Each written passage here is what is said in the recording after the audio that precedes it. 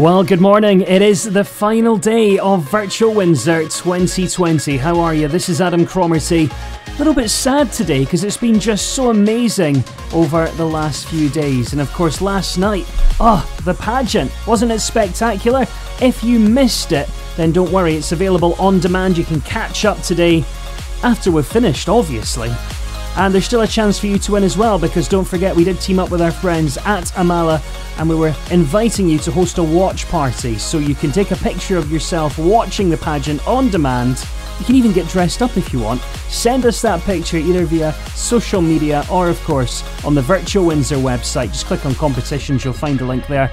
And you can win some tickets to next year's event, to next year's pageant, the horse show parking programme, and, of course, a magnum of champagne. Right, let's take a look at what's coming up today because it might be the final one, but look at that schedule, it's absolutely packed.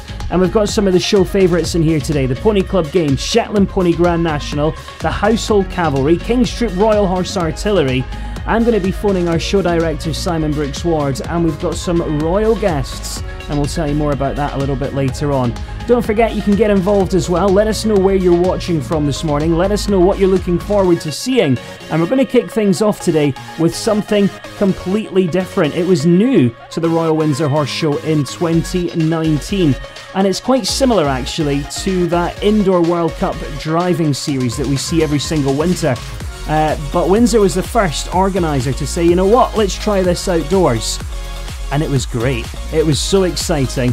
The crowd loved it. I think you're going to love it too. Take a look. A big thank you to Karen and Hugh Scott Barrett, enabling us to bring you some of the most exciting driving you'll see at an arena and bringing it from the indoor world here to the outdoor world. £10,000 in the prize pot as well. There's some serious money on offer. It's going to be exciting, fast fueled, adrenaline pumping, twists, turns, gallops aplenty. We're all set. Here comes the first, Steve. Here comes the first, up goes the music, and away we go. We start with a sensational driver indeed. He's won the Driving International here at Royal Windsor before now. IJsbrand Chardon of the Netherlands to start things off.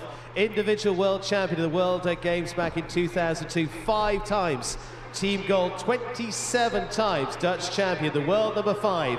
World Cup champion in 2016. He goes around with his uh, tremendous team. So let's see how we do this. Set to start, and our lead off of the six to go in the extreme driving, supported by uh, Karen and Hugh Scott Barrett around this course, designed by uh, Johan Jacobs. Here we go. First time here at uh, the Royal Windsor Horse Show. Down towards the screens to start off. They just take a little turn, winding themselves up. Countdown begins. And remember, it's four seconds to add if the balls are knocked off the cones or off the post through the obstacles. Winding up, IJsbrand Chardon, one of the very best to show the way. You see the uh, back seven leading right in on the turn already. They've got to get a good start. They get set off 3-1 very quickly. Go straight past the members through two. Looking good so far. Then they can get a real turn of foot up the arena. They go past the bridge this time. They, they've got a quite a sharp turn coming up to four as they just, oh, they take that one out. So that one goes. That's four seconds. Into the first, the obstacles at five. Go past A turning it back on themselves to come up to B. Looking good so far. Four seconds to add, and then they uh, turn right back here to the next to C. Right back on themselves on the circle. Takes a short line up to D. Finally, E. Out of there in 59 seconds. He's got four seconds to add. Takes a look at the bridge. Not sure about that. That's going to be another four seconds to add at least by the look of that. Turning up the arena to seven. Eight to add at the moment. They're going to go into uh, this box for the very first time. Eight just on the angle. In they come. Sweeping on a horseshoe very quickly around there. That's looking good. They've got full control as they take the turn. IJsbrand Chardon on through X through 10. Where do we go from there? Down past the bridge at 11. Cuts inside. This looks good. It is going to be your 8 to out there. He's lost a little bit with those two cones having gone down. Now we go uh, down into the obstacle once again, into 12A. They've got two options here to go left and right. And the same here in B. They go on the right-hand side into uh, the next, up to C. Again, two options. They go a tighter or wider line. He turns back on himself well at C. Straight on to D. A loop back there. They've got to back through most of the obstacle to get to E. And finally, F. Out they come. Out there in 133, back across the bridge. This is 13, 14 and 15, the final few. They've got two left to go. Driving on for the finish with eight seconds to add at the moment. IJsbrand Chardon, a tight turn into the finish and looking good. On they go down towards the finish line. Chase for home. Got across that line, nose over the line in 153.42. Eight seconds to add for IJsbrand Chardon of the Netherlands that starts us off 161.42. Give him a round of applause. That was a very good one for our trailblazer in the extreme driving. What a phenomenal uh, competition this is. Uh, excitement from start to finish, and it's only going to get quicker and quicker as uh, we now have the standard set 161.42, the uh, time on the board. As the first of the three for the Netherlands uh, sets the standard.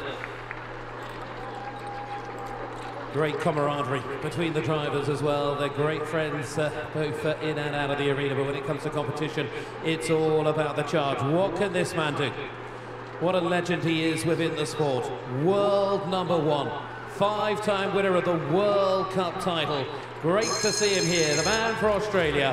It is Boyd Exell.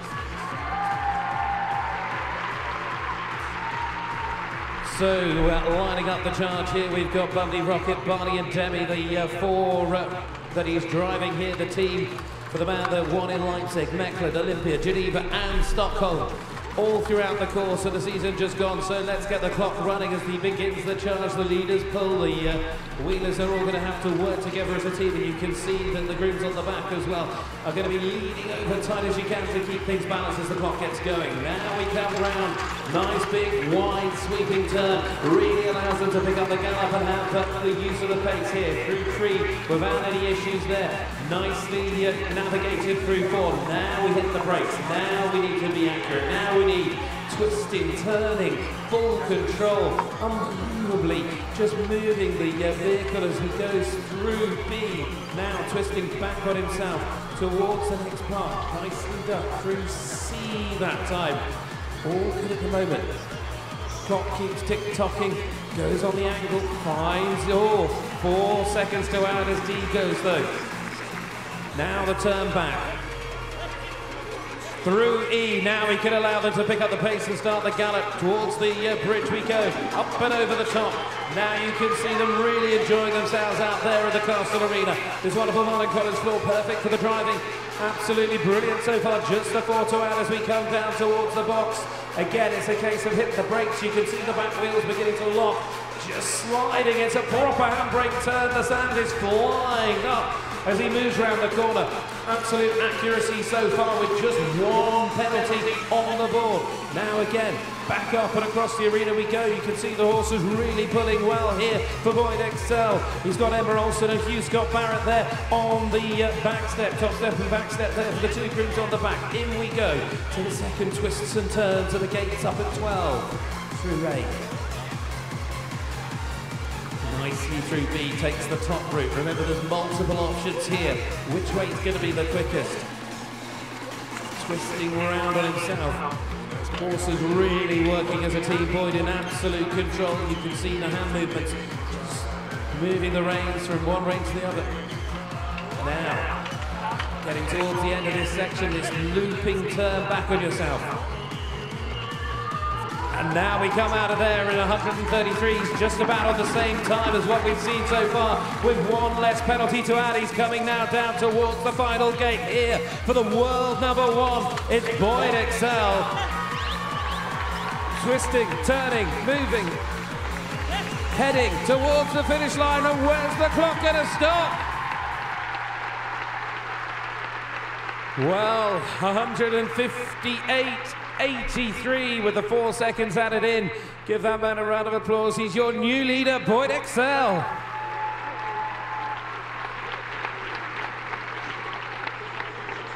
Just the one added in there, just that uh, one ball coming off. Four seconds added for Boyd Exell. Has he done enough? 158.83. He's got a very strong group coming up behind him here. And uh, we will go to our British driver now in Daniel Naprous. Daniel, who uh, by trade is a stunt driver, in fact, and a wonderful team of greys that he brings here.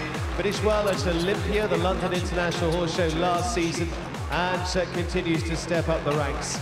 But Daniel, as I say, it is uh, the films that is his day job. Everything from uh, being a part of Spider-Man, he's played Darth Vader, and uh, he's been involved in the uh, stunts along with his sister in the likes of Game of Thrones. Many more before as well. Peaky Blinders, much more besides. So, has he got the speed, daring and agility to get here? Off they go through one. Dan Naprous away with his team of greys. Swiftly through two. Now uh, up the arena, they could really start to let things go. Just got to keep that one now on the right rein as they go up, and then just a little adjustment as they go up through four. Looks good so far. They go into the obstacle at five, rolling on through A. Turn back on themselves. Now with the nose through B. They've got to turn back on themselves almost to 360. C. You can hear him all the time giving instructions to the horses.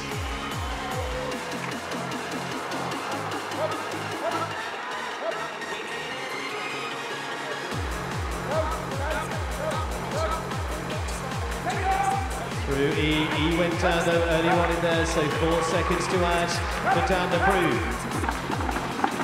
Over the bridge. Four to add at the moment for the British driver. Daniel Naprous now can open them up seven and eight and down to that box. Just got a little bit of K, but take here as they just go a little on the turn. Now, just pulls back on the rain. Got to have that full horseshoe, effect, horseshoe effect as they come out of there in that 90 seconds with four seconds to add. Down to 10. Not too far away so far. Remember that time, 158.83 from Boyd Exell. Down getting more and more experienced all the time. Through 11.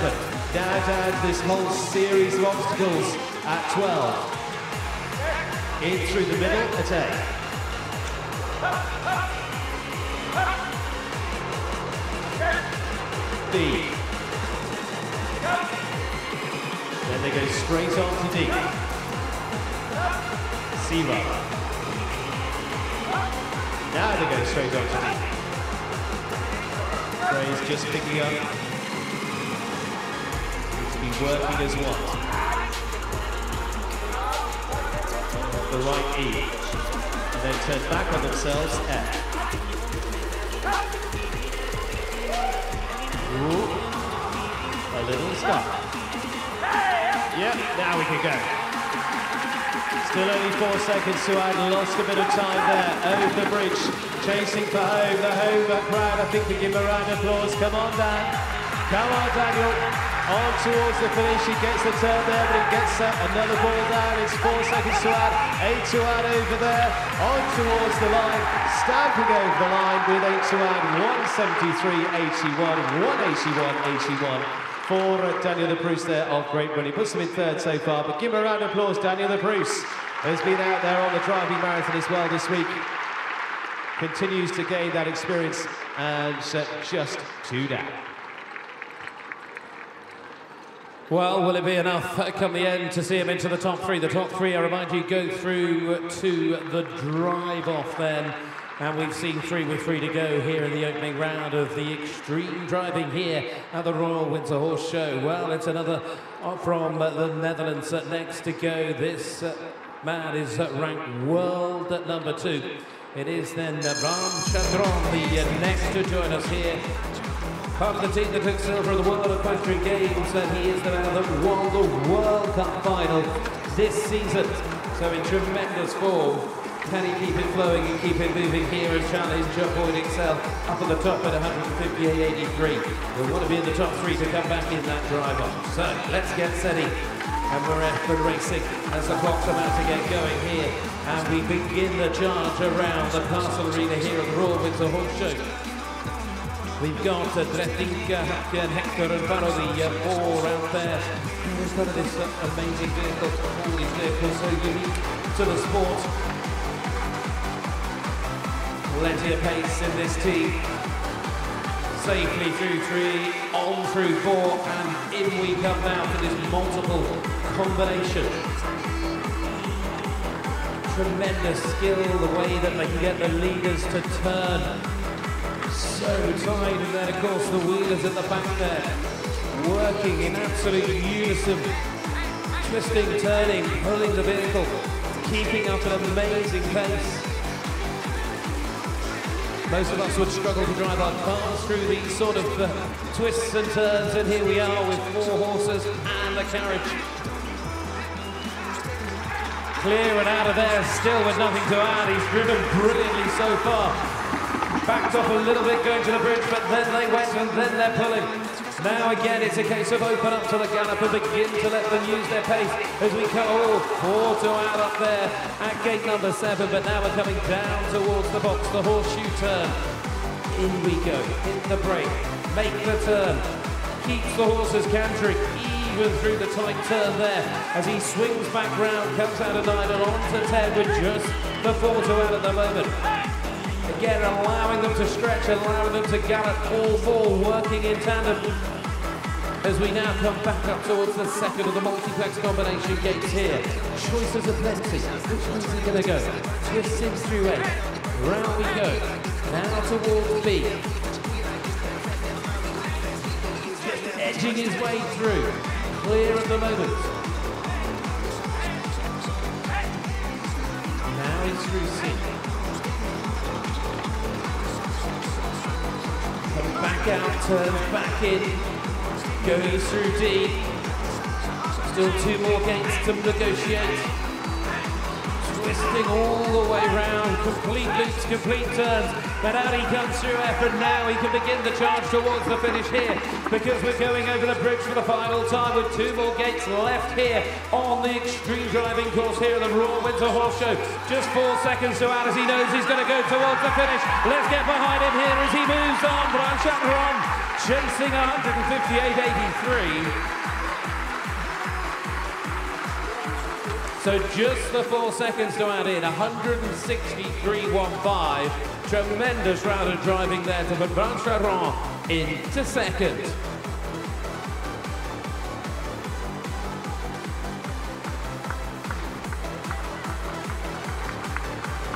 Two left to go in the extreme driving, supported by Karen and Hugh Scott Barrett this afternoon here at the Royal Windsor Horse Show. It is uh, so far the world number one Boyd Exell leading the way, 158 83. We've got two top combinations left to come. Our next is number six in the world. Part of the team that won bronze at the World Championships last year, individual six there. He was third in the World Cup finals this year. He was second at Olympia, the London International Horse Show. Had a tremendous drive there for the uh, Belgian driver that goes now. Then it'll just be Ronde of the Netherlands to come after that, and he certainly cannot be discounted in any shape or form. This really steps up. This is where you really step up the cheering as well. Let's get underway. First of two then. It is uh, going on to uh, Glenn Geerts then and uh, his uh, team as we get underway. Remember the time to beat 158.83. Boyd had one of those uh, balls knocked off the cones. He had four seconds to add, so it's still all possible all the way for him. Glenn Geerts then away with his team through the seconds. Quickly so far with Gita and Sam on the back on the back step there. With uh, they come through the fourth. Looking good so far. Nothing too out at the moment as they come into the obstacles for the first time at five. Back through. B. A little wider. Up the pace. C.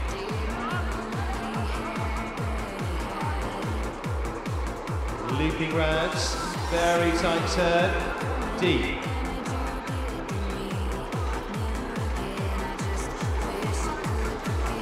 Finally, E.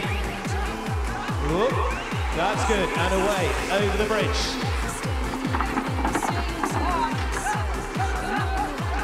Nose in front as they turn back to the next. Coming back down through seven and eight. Oh, that goes.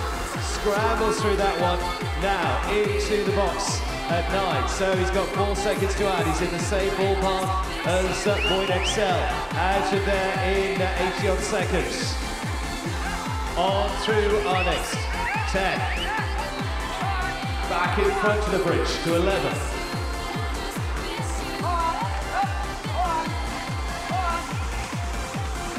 Into the obstacles at 12. A in the centre. Look at that, beautifully done. As the leaders do exactly what their job is, leading bravely through the ancient, coming for the two behinds. On through our next, through C, D,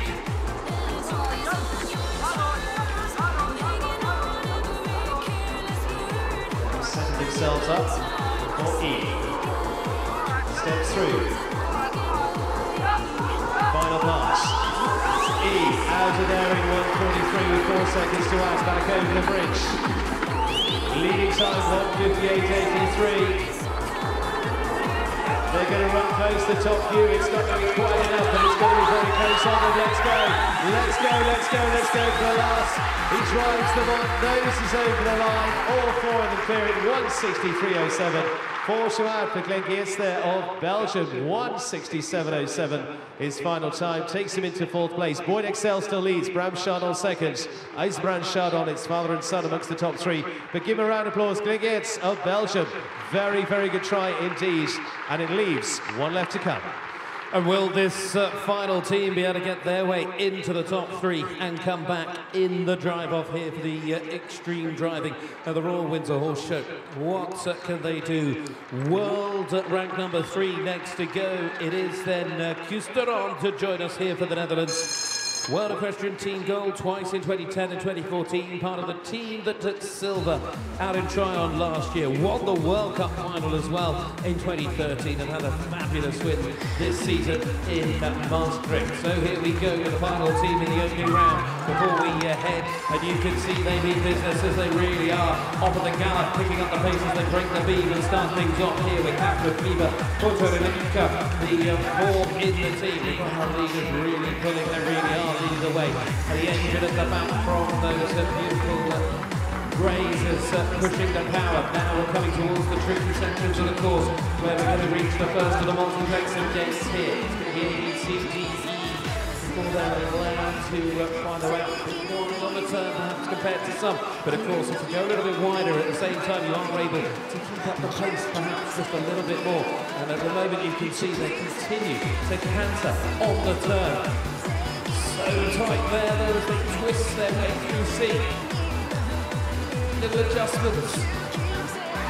Sliding through the gaps. Background now on the turn. Coming to E. Clears their way through there.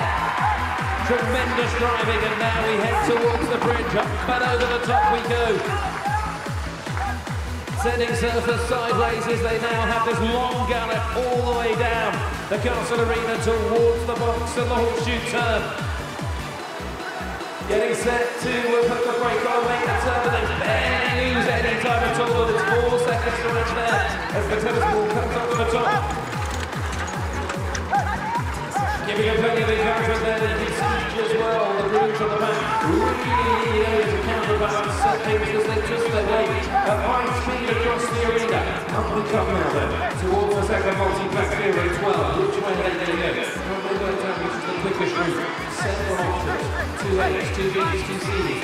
Again, it's the driver which way they go.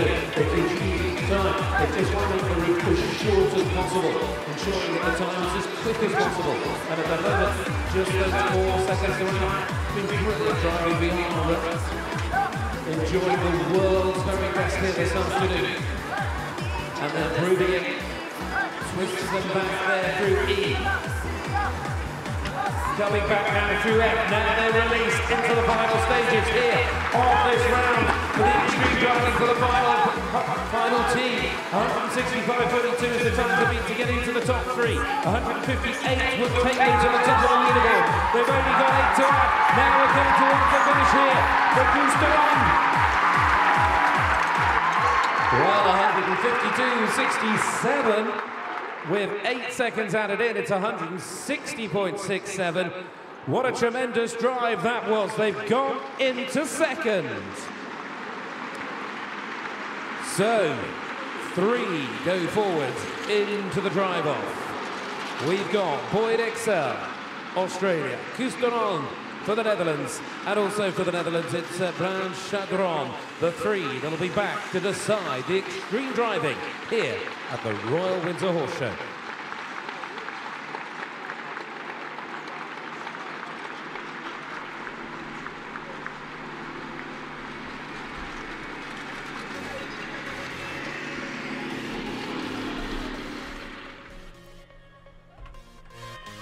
Well, we are about to see those top three come back, and it's a little bit like a jump off in the world of show jumping almost. The top three have now qualified, they go forward to the drive off, and I tell you, the ones that have made it through are just so, so quick. If you've just joined us, welcome along. It is the final, final day on Virtual Windsor for 2020. Packed schedule though, lots coming up. I'll tell you more in a few minutes' time. For now, though, I want to say hello to a few people who are watching on Facebook Live today. Uh, Colette Ward joining us from Australia saying, Wow, thoroughly enjoying this. Uh, Carol saying, Never managed to see this before. Well, if you come to the Royal Windsor Horse Show, Carol, next year, there's always something new. They're always doing something different. Jean says, very nimble ponies. Absolutely, Jean. It's just, you know, the way that they turn, it's just amazing. Uh, Chantel, some beautiful ponies. Chrissy just saying hi. Hi, Chrissy. Good to have you with us. Uh, Lauren says, missing watching horse shows. This is her fix. Well, we're glad we're we're glad we're filling that hole for you. But if you want to get involved today, let us know where you're watching from. Let us know what you've enjoyed over the last few days, and of course what you're looking forward to seeing today as well. Right, we've just about recovered then from the first instalment of the extreme driving. So let's head to the next. The top three come back, but who is going to be the fastest? World class sport here this afternoon. We've seen it in the show jumping, and now it's the turn of the drivers. Absolutely. So let's give a big welcome the top three in the world to battle. We start with uh, Bram on the world number two, recent winner in Budapest, World Cup final winner, and uh, Team Silver at last year's World Equestrian Games. Give a big welcome here to the Royal Windsor. Bram Chardon, first to go of our three. Same course, same rules. Upping the stakes, though, I'm sure, with these three, with a lot of pride, a battle here, if nothing else. Here we go.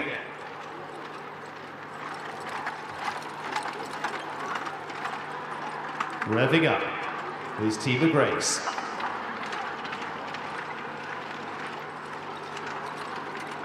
Good through one, gets a good turn to two.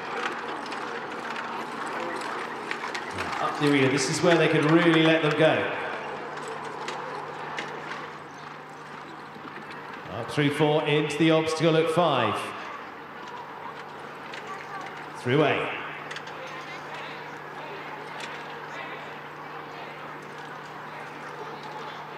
B.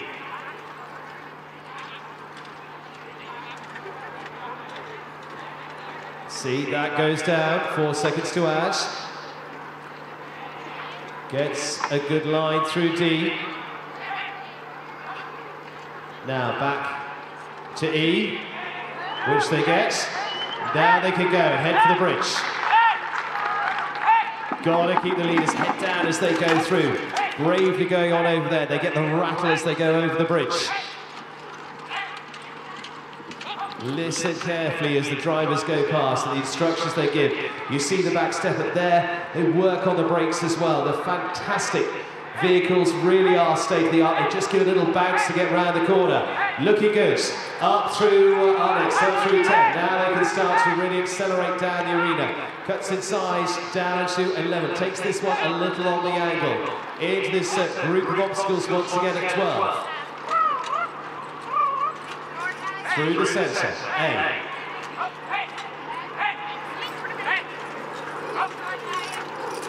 B. Straight across. C. Now they come right back on themselves, straight down to D.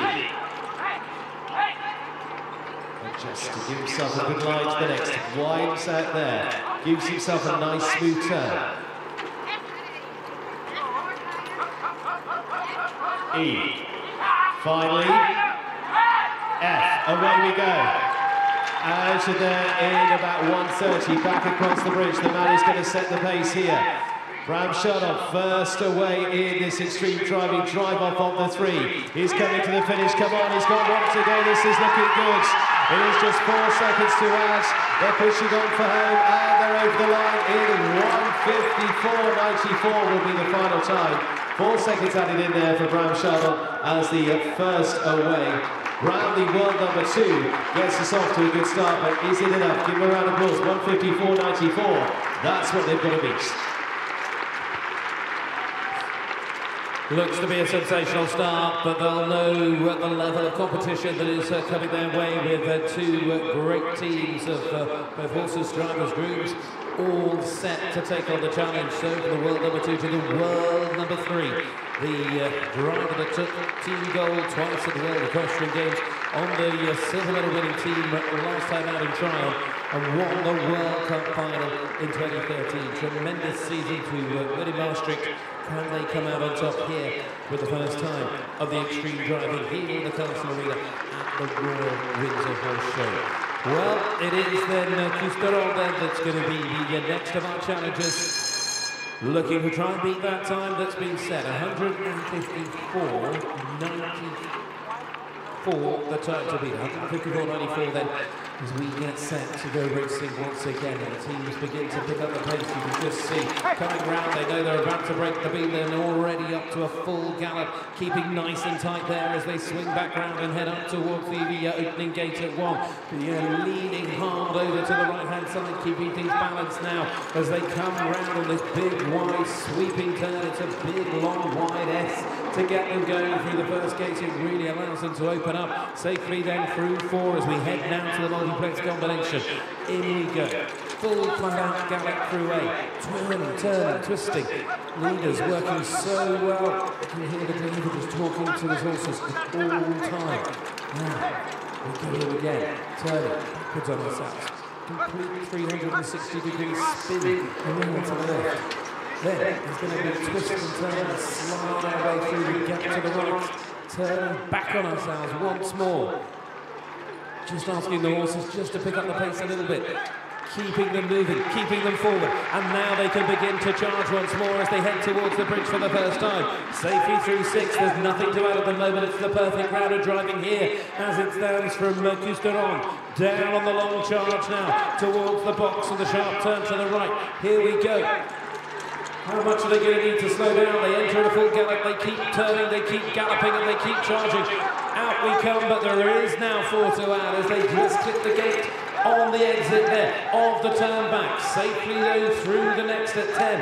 And again asking the horses to pick up and gallop. They're so fit, they're working so well together as a team. Just four to add at the moment. But now we come to the next of the multiplex gates. It is a case of choose your way. Twist and turn through A. Safely through. Now, up we go. Towards B. Clears B turns tight, tight back on themselves to go to C. Down on the bottom there, out of C. They chose to go in uh, through on the left-hand side. Now they turn to come back up through. Get themselves out of D. Turning again round to the right picking the wider gate in E, allowing themselves to turn right back on themselves, all the way looping round, coming out of there at 133. They're not too far off that leading time.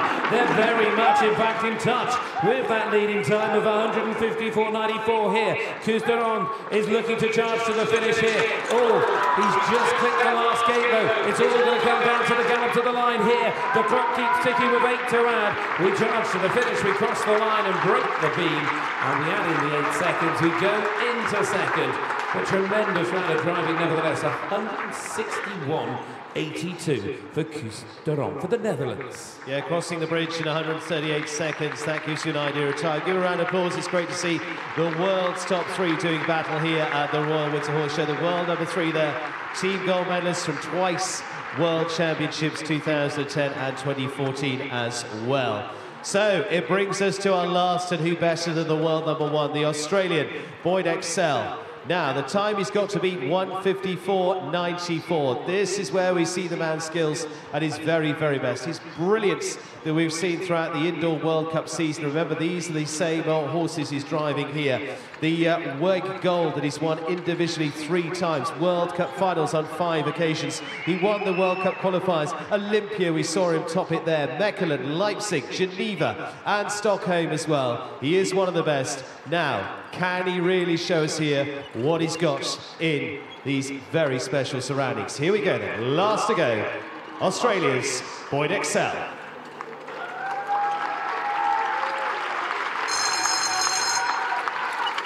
Now, Boyd loves to hear cheering. Here we go. Look at this. The charge begins. Fabulous team of four base. Down he goes to the start. Is he going to put this away in a big way? Through two. He is really putting the foot on the gas down here. On through the third. Nothing to add so far. Gets the accuracy through four into the obstacles. Listen closely. Watch on the back. You've got uh, on the back there Hugh Scott Barrett. Turns in.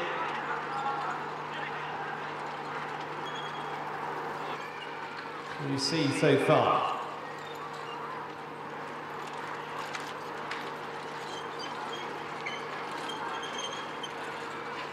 Through D. He's taking a very tight line through E. Oh, look at that. That is it. Really, as it says, extreme driving. Brilliance. Whoa, on the turn. Now Martin Collins surface flying as we go down to our next couple. He's then got to have that control in the box. He's really got them opened up now. He's got to have the back. The brakes go into play. Smoothly round. Oh, Nothing to add there. Boyd Exell on top form. Through 10. This is looking imperious so far as he chases down the arena and onwards that final set of obstacles. In he comes down to 12. Listen carefully. Through 8.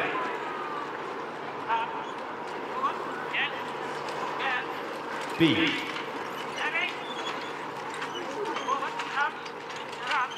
C.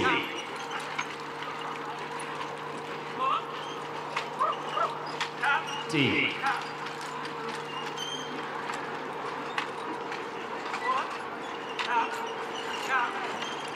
E. Finally off and away. This is very fast. Very fast indeed. The world number one at his best bounces over the bridge. He's got a couple left to get home and be the first ever winner here at Royal Windsor. Can he do it? Can it be a royal finish? Go on, Boyd Exell, the Australian on towards the last. Time to beat 154.94. He's gonna do it. Boyd Exell takes the extreme driving here at the Royal Windsor Horse Show. Ladies and gentlemen, lift the roof. That was brilliant.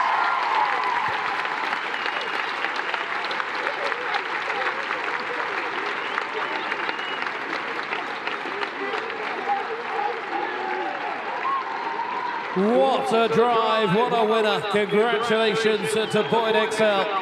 The world number one proves just why he is the man at the top of the sport. Well done, Boyd. In second place, it goes to Bram Chardon for the Netherlands, ahead of uh, again. The uh, Dutch were strong, and uh, IJsbrand in fourth, ahead of Glenn Geerts and uh, Daniel Dupree. The full and final result of the six. But uh, what a competition. Thank you, Karen and Hugh, uh, Scott Barrett, of course, for their amazing support. And uh, what a uh, addition extreme driving has proved to the uh, Royal Windsor Horse Show. So much more as well for us to enjoy as the team begin to uh, prepare the arena because uh, still to come our way, of course, presentations of awards as well as some of the very best displays from around.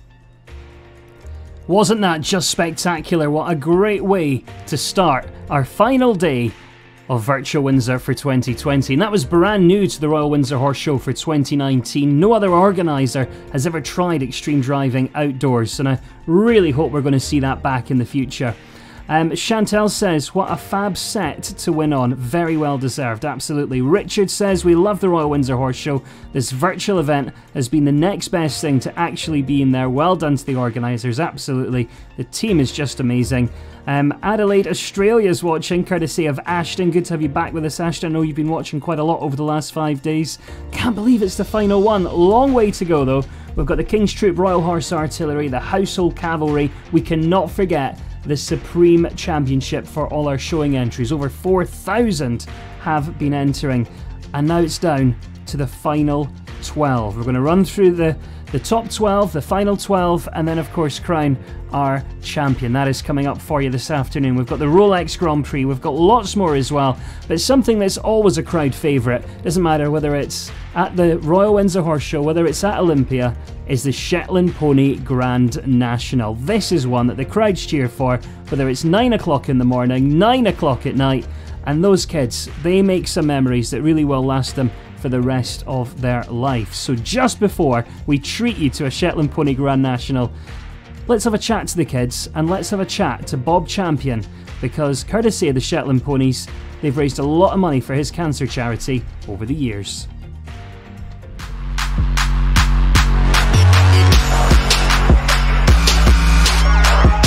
They do it for my cancer trust, the Bob Champion Cancer Trust, and um, I really enjoy it. And it's great to see these young jockeys coming on, you know, and um, you know, Lucas here, his dad won a Grand National. Then we've got here another Grand National winners, and um, all great jockeys, their fathers, and um, you know, it's a great upbringing to them, and um, all walks of life. Doesn't mean um, basically jockeys. Eventers have come out of it, uh, show jumpers. Um, it's a great grounding. The uh, Shetland ponies have been very, very good through the years. basically, I think they've raised getting on for a hundred thousand now in the last three years, and um, you know it's been absolutely terrific. And this is now my third year. What do you love about it so much? Uh, just going very fast and jumping. yeah, some of them um, can just whip whip around and you just go out the other side. Would you like to be a jockey? Uh, yeah.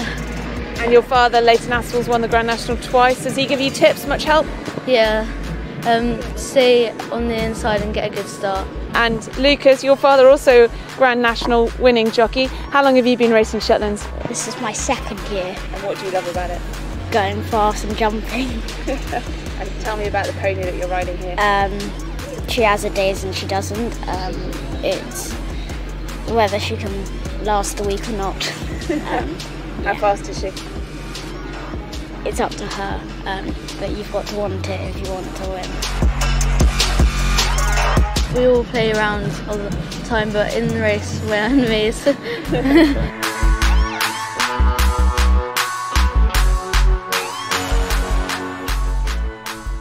Well, a quick reminder keep hitting that share button, let all your friends know that they can join us. And whether you're watching on a phone, an iPad, computer, whether you're really clever and you've managed to watch on TV, get ready to scream, get ready to cheer, because we are heading to one of the evening performances of 2018, and this is the stunning Shetland Pony Grand National. Right, let's have a little run down the runners and riders. Number one, Daisy Harrop, as you just mentioned. Cranford, fantastic. Number two, Lucy Aspell. Both these top two have uh, already had a win here this week. Beeswax is going to be the ride for Lucy. Ruby Bonner, number three. Gatebeck Lily. Number four, Alice Crowley. Jim, of course, is here. Dad's here to watch Alderscroft Midnight Blue. Zach Kent, Briar Smoky Joe. Another good finish for him already this week. Scarlett Thornton. Broad Spring Phantom. Number eight is uh, going to be also in the lineup. Another of the boys in there. Number 10, Archie Gubb and uh, Claredale Edward. And number 11 in uh, Olive Nicholls and uh, Tiffany. So as uh, they make their way around, pick the one out that you think is going to be the uh, winner here tonight. But what we want is plenty of cheering. Let's just test how much cheering we can get because it's Royal Windsor Horse Show. It's Friday night, I think. So it means school's out, work's out. Let's try after three. Want to hear cheer from all of you. One, two, three. Not bad, not bad. I think we can do better though. We've had an amazing night already. We've seen Charlotte Dujardin with the amazing dressage. We've seen, of course, the Household Cavalry, the fabulous display from Azerbaijan, and now we've got the Shetlands, and we've still got the King's Troop to come. Are you excited? One, two, three. That's That's much better. That is much better. So, it's time to start uh, building up the excitement here tonight as uh, they head down to the start. As they said, it is about getting a good start in this. And as Jim said, get on the inside and uh, hopefully you can just nip that race out from the rest of them. So, as they go down, number one, Daisy Harrop, Cranford Fantastic.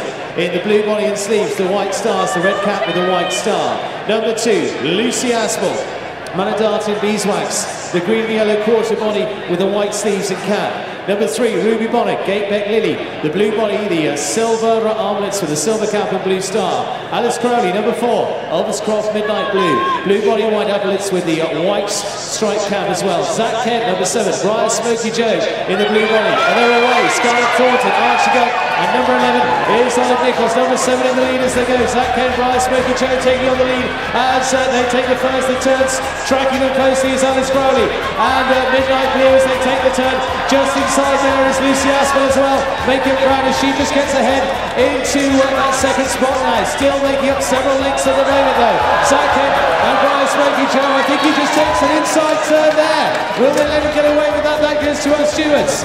Then uh, as they go onto the turn, just behind there, they are in a battle for second at the moment. Creeping up is number 11, that's Olive Nicholls and uh, Brian Tiffany. The ground being made up all the time now as uh, they just start to get on the inside. Is it going to be trying to watch Brian Tiffany level up there with uh, Zach Kent, Brian Smoky Joe. Come on, cheer them home. And uh, easy ahead is one for the girls potentially here. Olive Nicholls and Brian Tiffany just steal a pace as they come on for the line. It's going to be close between them. It is Olive Nicholls and Brian Tiffany just going to get there. Ahead of Zach Kent, look like Lucy Aspell after that. It'll go to our judge to decide.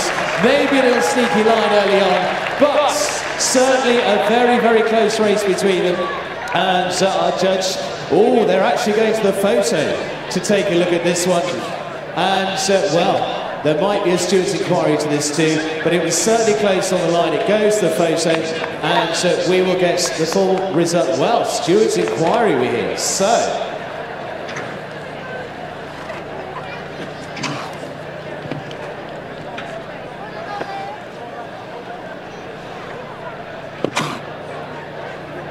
Well, it did go to the stewards. And I'm afraid we did see Zach Kent take a bit of an inside line, and I'm afraid the stewards who said that's a no-no.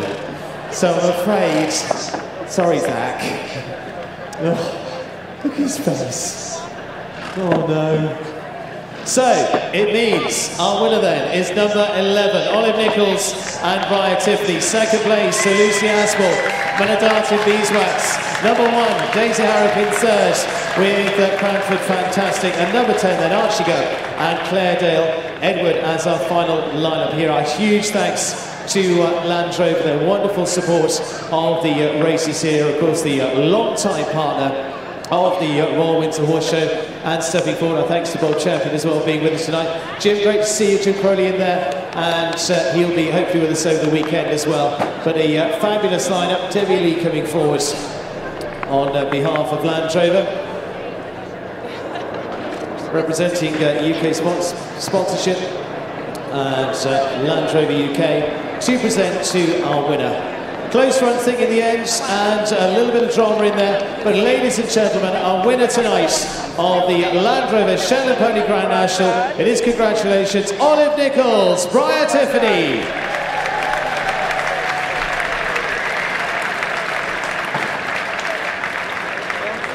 Well, there we go. Another one following on with the breeding. Of course, the daughter of the great Paul Nicholls, the uh, champion trainer on so many occasions. He himself a jockey back in the day too.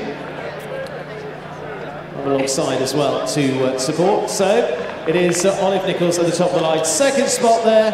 Very well done to uh, Lucy Aspell in second, following father's footsteps, Leighton Aspell. Lucy Aspell and uh, Maya Dartin Beeswax finishing in second. And third place there going to uh, number one. Already a winner this week, Daisy Harrop and uh, Cranford Fantastic with another very solid performance to put them in the top three.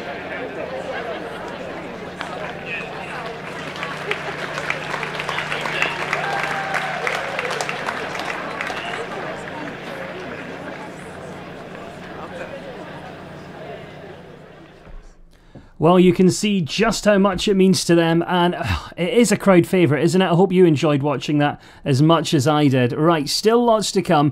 Uh, Michelle's just been on Facebook Live saying, What a great idea. The Shetland Pony Grand National. She can see it taken off in Australia. Well, actually, it's now huge in the USA. A couple of shows I do over there started the Shetland Pony Grand National. We now have a final at the Washington International Horse Show.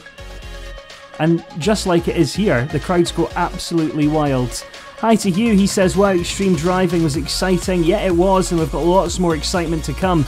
And Elizabeth Connell says, are the Pony Club mounted games on later?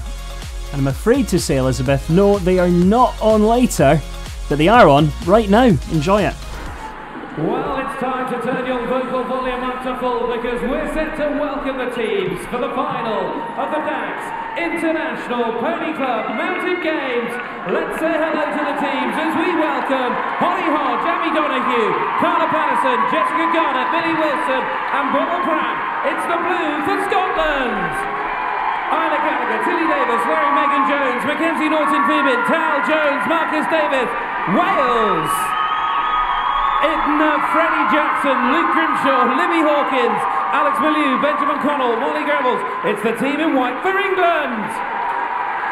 Ben McKenzie, Katie Smith, Katie McComb, Abby McMillan, TJ Kibbert, and Jessica Marks, the yellow of Northern Ireland and John Nolan, Nida O'Leary, Yoga Carr, Rachel Crow, Ava Charlie, and Michael O'Meara making the team in green, the team for the Republic of Ireland. We welcome them all on what is a celebratory year for both DAKS our amazing sponsors who now celebrate their 125th year. The Pony Club, celebrating 90 years, and it's 40 years we celebrate the partnership between DAKS and the Pony Club. For this, the DAKS International Pony Club Mounted Games.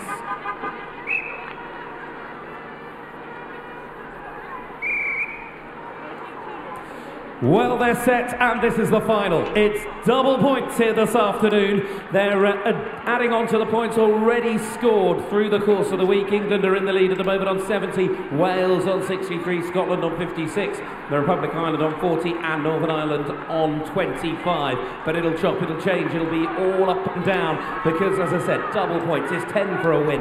It's 8, 6, 4, 2. The scores here for each of the games. The Pony Club is where it all starts for so many of our equestrian athletes where the skills are learned, and you'll see why. Let's go back to 1956, where it all started with those uh, cavalry games. Of course, it was His Royal Highness the Duke of Edinburgh that came up the wonderful idea of moving them over to uh, our young riders. And at the moment, oh no, Northern Ireland dropped the uh, baton. But England out in front, Wales having all sorts of problems. At the moment, though, it certainly looks like England are pretty close set to the lead. Scotland are not far behind, and the team in green here on the roll box side are at the Republic of Ireland tight on their heels. At the moment, though, England with a little bit of an advantage, but it's neck and neck in second between Scotland and the Republic of Ireland. Remember, look out for the white hat band, because when that breaks out onto the course, it's the final rider for each of the teams. And at the moment, the Republic of Ireland have taken over in the lead. England back in second, then Scotland in third. It's going to be close here. It's the final run down to the finish.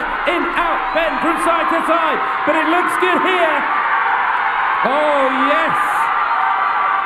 Scotland close behind England in second and third. But look at this, they're still going up and down to score. They've got to finish. And you can see now, out we go with the team here from Northern Ireland. Wales coming home at the moment in fourth. Left and right, side to side, in and out, the most traditional game of them all. Let's uh, see. Oh, look, Wales have had to go back. They've had a problem.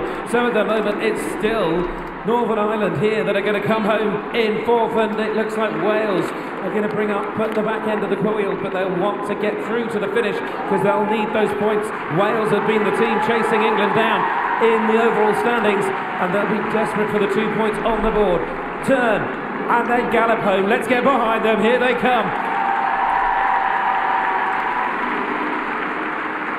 But the winners of the opening game here this afternoon, well done to the team for the Republic of Ireland.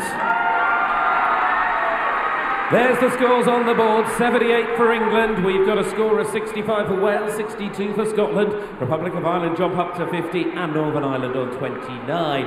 It's still a long way to go here this afternoon. There's plenty of games to enjoy. Now it's the DAKS anniversary race. Of course, as I said, celebrating 125 years of DAKS, 90 years of the Pony Club, 40 years of this tremendous partnership that gives us the only international outing of mounted games competition each year at the Royal Windsor Horse Show. So we get down to the end, and it's a case of lean low, pick up the stack, start to build the blocks on top as we race down Hand-to-eye coordination is essential. Total. Oh Scotland have dropped the block. Meanwhile, it looks like England at the moment are stretching out a little bit of a lead, but not far behind. Here come the Greens of the Republic of Ireland and Northern Ireland hot at the heels.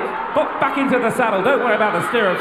Scotland now really going to try and come back into this, and Wales are working hard too. But we've gone from 125 years of DAKS to 90 years of the Pony Club. Of course, the world's greatest youth organisation, and it proves it time and time again. It teaches skills across all the disciplines. Of course, horse care as well, but what it also teaches is friendship and responsibility. And look, at the moment, coming now with the next of the blocks, it's England, celebrating 40 years of the partnership here at the Royal Windsor Horse Show. One more to go, and it's England in the lead at the moment. The first out with the white hat band as they charge down to the end of the arena. All they've got to do is pick up the envelope on the floor. They've reached as low as they can, right the way down. But here we go. Oh, Republic of Ireland dropped it. Here we go, England though. Oh, oh, Wales didn't quite put it in the slot. They've got to go back. So that means, oh, and again, a bit of a struggle for the Republic of Ireland. Oh, I think Scotland have come home in third. But at the moment, they've got to get it in properly, put it in, leave it smart on top. You've got the uh, Royal Windsor Horse Show crest there. It's wibbling, wobbling. I think we've broken it. Never mind, off we go to the finish. Right, there we go. Now just one more. Slot it in. Turn it round. Oh. These games can be so cruel. Pick it all up. Pop it in. Now, be a good pony. Don't fight with your mum. Boom! Up into the saddle. Well done. So the winners here in the DAKS anniversary race. Congratulations to the team from England. Well, that's helped England's overall score. They've moved to 88 at the moment. Wales 73, then Scotland 68, Republic of Ireland on 54, and Northern Ireland on 31. Right. It's the worst day of the week to play the next game because the socks got stinkier and stinkier as the week's gone on. It's the old sock race here at the Royal Windsor Horse Show this really does take hand-to-eye coordination. It takes absolute agility. These are real athletes, not just the ponies, but the riders as well. Fit as a fiddle, training all year round to get to the level they are. We've got the best of the country with us here in the Castle Arena. This is, of course, the final session. This is the one they want to make sure they get the most points for because these are the ones that are going to take them to the title here.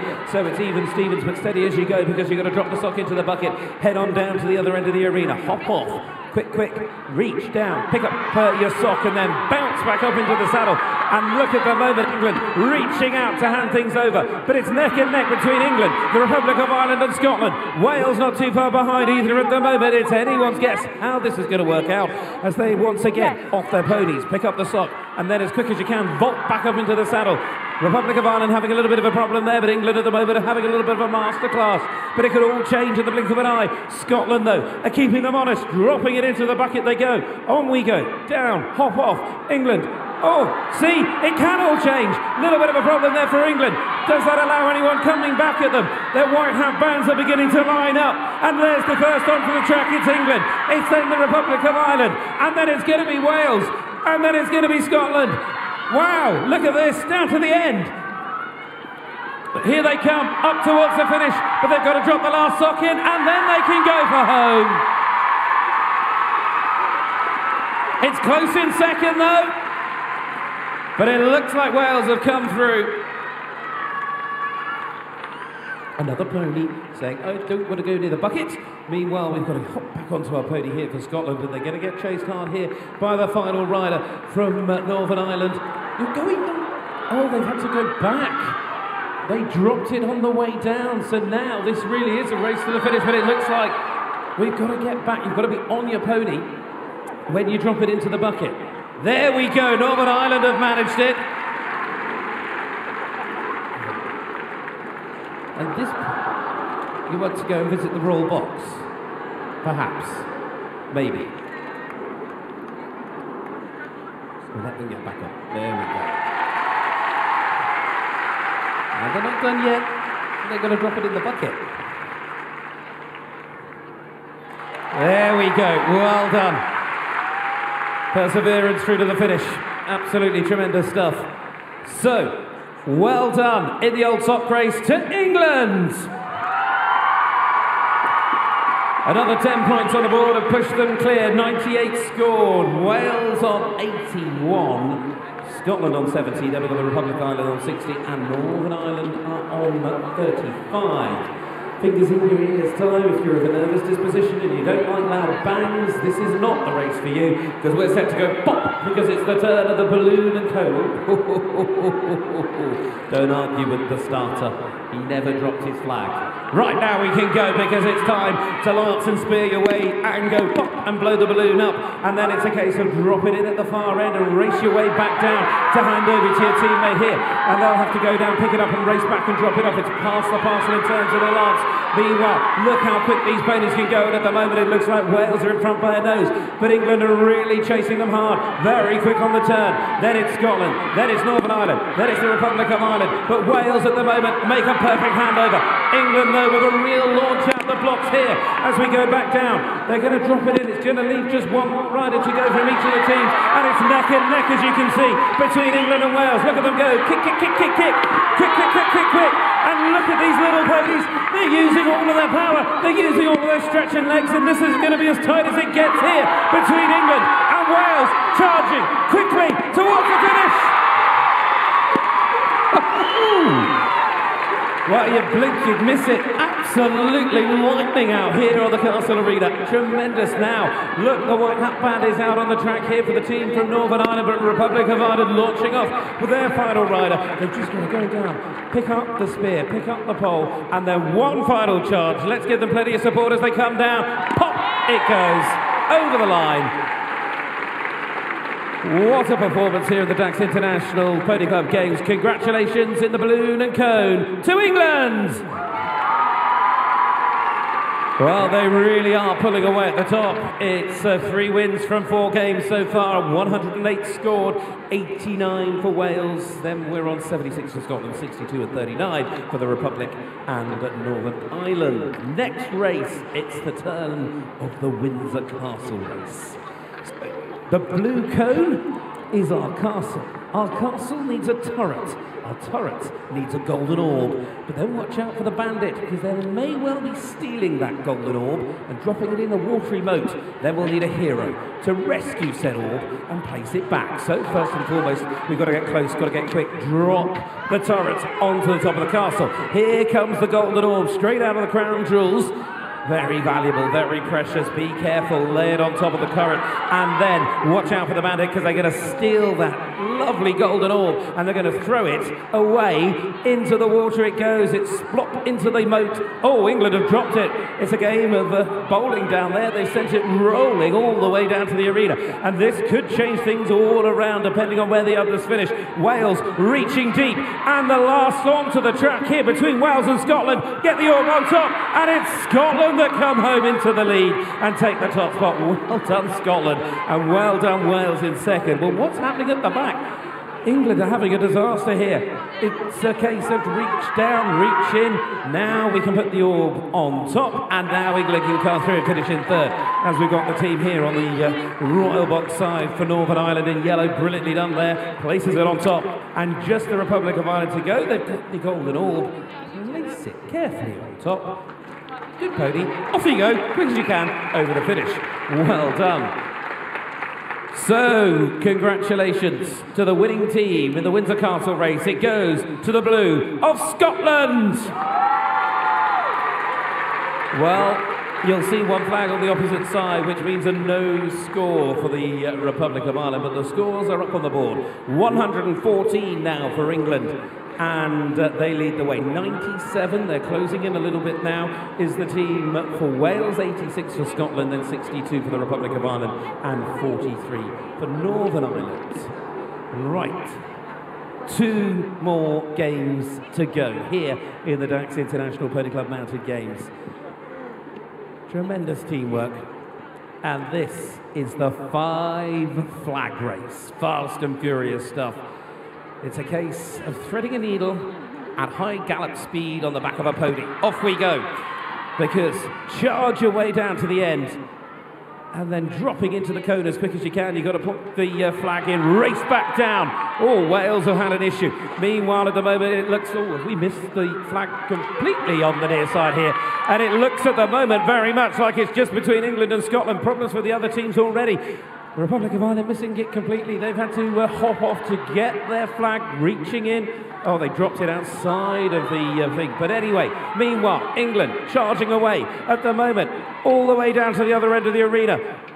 Wales not far behind. In goes the next of the flags. Back we come up. Hand over to the next of the team riders. Picks it up and out. England at the moment flips it up.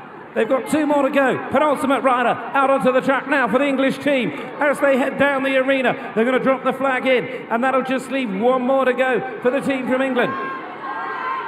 Chasing them hard though. All the other teams are having little bits of problems, but it looks like Wales at the moment are trying to come back into this, but it's certainly the white hat band now out for the team from England. Can they pick up the flag? Will it fly? Who's going to win the race to the finish? Here they come. Flags are flying high. England, Wales. But in the meantime, it's all going uh, off here between the rest of the teams because there's all sorts of problems. Pony's not necessarily doing what their riders are asking them to do. But here come the team for the Republic of Ireland. Fantastic stuff from them. To finish in third. And now it's the team from Northern Ireland as they begin to charge down to the finish. There's still one more to go for Scotland, though. Winners of the last race. As I said, it can all just change in the blink of an eye. One minute you're up, one minute you're down. That's the fun of the Pony Club Mounted Games here, the DAKS International Pony Club Mounted Games. Tremendous camaraderie between the riders. They all become such great friends over the course of the week. And here we go now, down to the finish. Well done, the winning team in the five flag race. Once again, the white flag's up on top for England.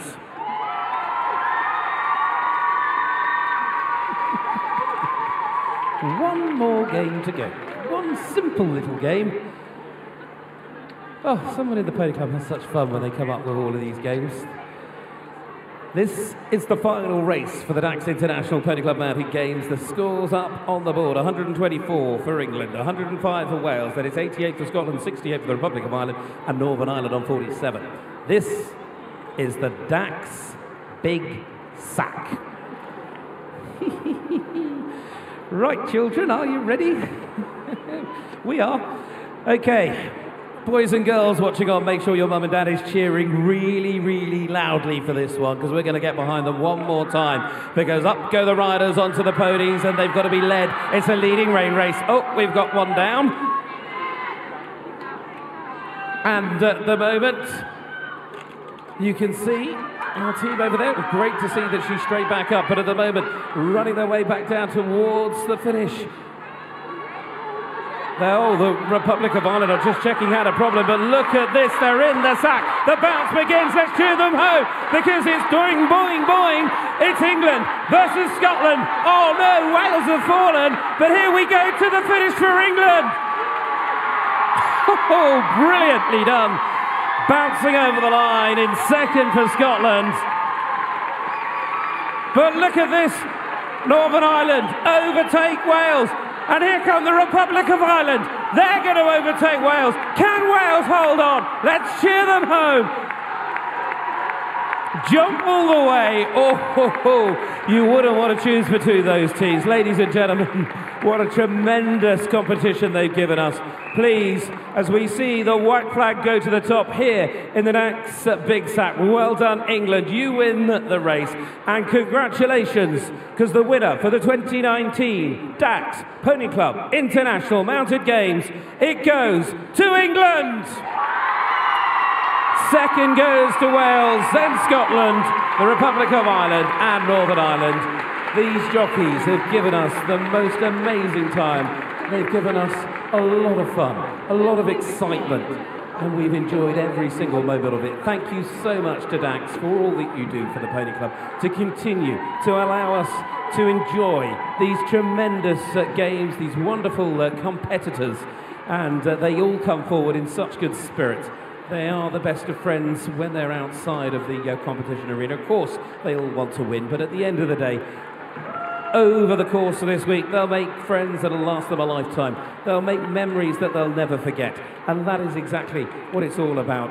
Of course, the Pony Club, it is the uh, leading youth organisation in terms of everything equine. They teach you from Pony Club Mounted Games to jumping to dressage to arena polo, racing, and so much more. And of course, about the care and management of your pony as well.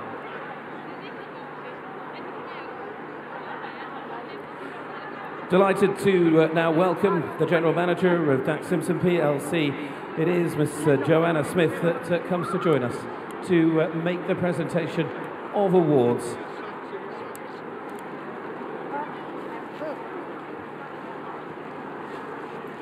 Ladies and gentlemen, well done to our top team. Delighted to also welcome the Earl and Countess of Wessex who have come in to congratulate all of these riders. But the winning team of Freddie Jackson, Luke Grimshaw, Libby Hawkins, Alex Willieu, Benjamin Connell, Molly Gravels, and their trainer Maria Gibson. It's England!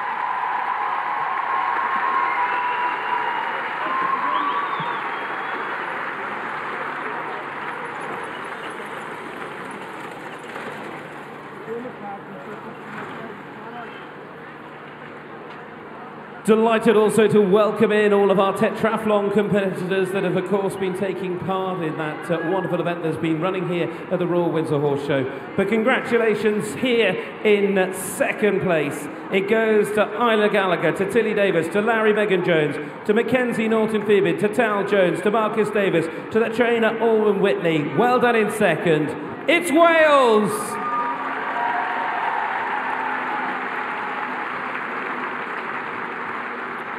Congratulations in third. It goes to Holly Hodge, to Abby Donahue, to Carla Patterson, to Jessica Garnett, to Millie Wilson, to Bubble Pratt, their trainer Marie Brown. Well done to the blue, to Scotland.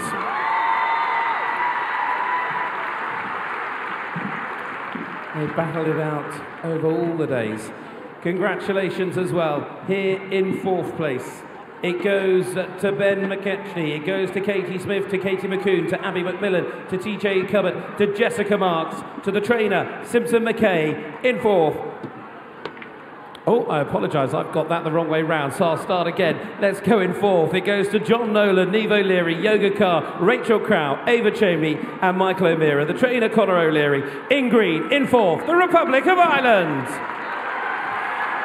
And then we'll say well done to Ben McKechnie, Katie Smith, Katie McComb, Abby McMillan, TJ Cubbett, Jessica Marks, and the trainer Simpson McKay. Congratulations to our team in yellow. Very well done to Northern Ireland. Tetrathlon, of course, has been always one of the mainstays of the Pony Club. Well done to all of the riders. They have all had a fantastic day and competing for their uh, branches What an anniversary year it has been.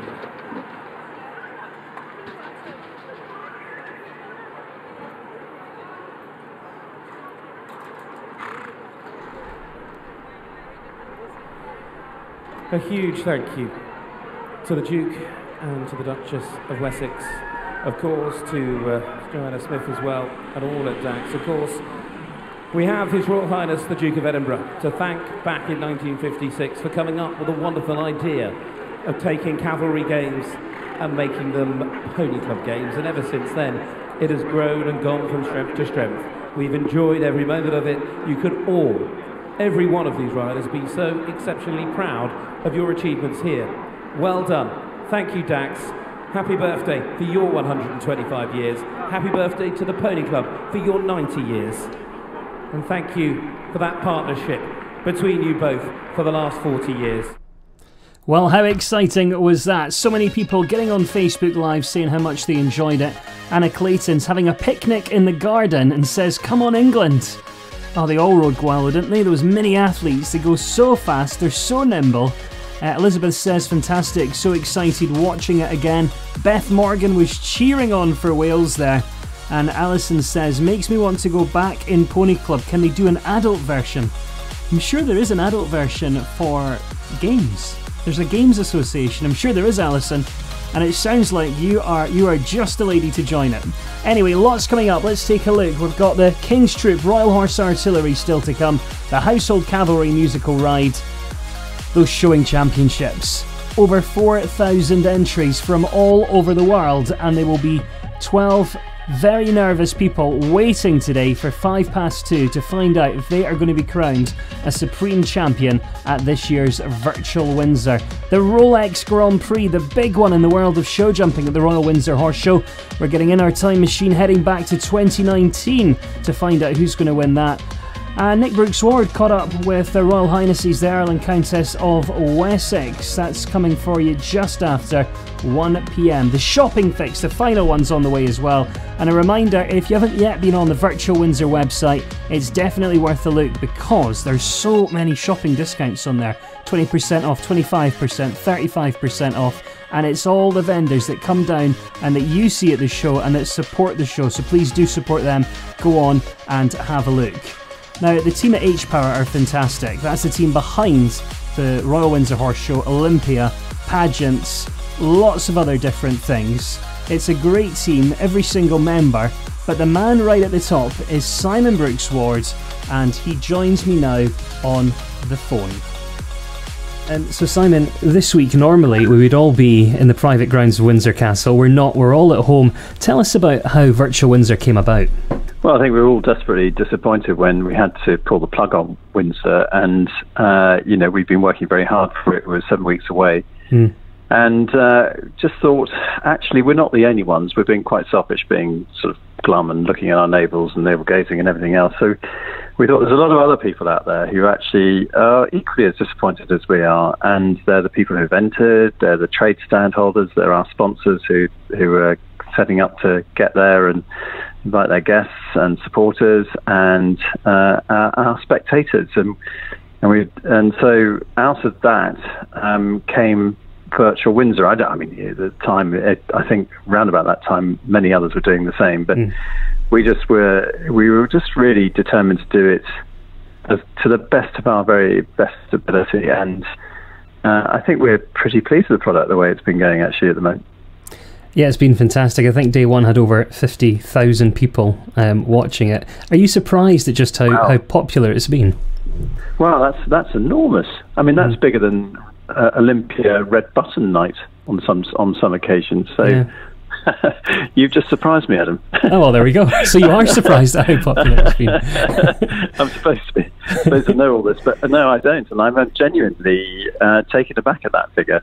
Mm. Um, yeah, no, I uh, we were just uh, bowled over with the amount of interest that we, we got. I mean, you know, over 4,000 entries came in. But what really surprised me was the international flavour. Mm. It wasn't just the UK, it was uh, 83 countries tuning into the website and, and 16 of those countries entering in, into the various classes, uh, which uh, quite, quite stunned us, actually. Do you think there's maybe a space when we do get back to whatever normal is going to look like to have some sort of virtual virtual show alongside Royal Windsor? Because I know today we had a winner from Australia, and those people would never be able to get involved with the show normally.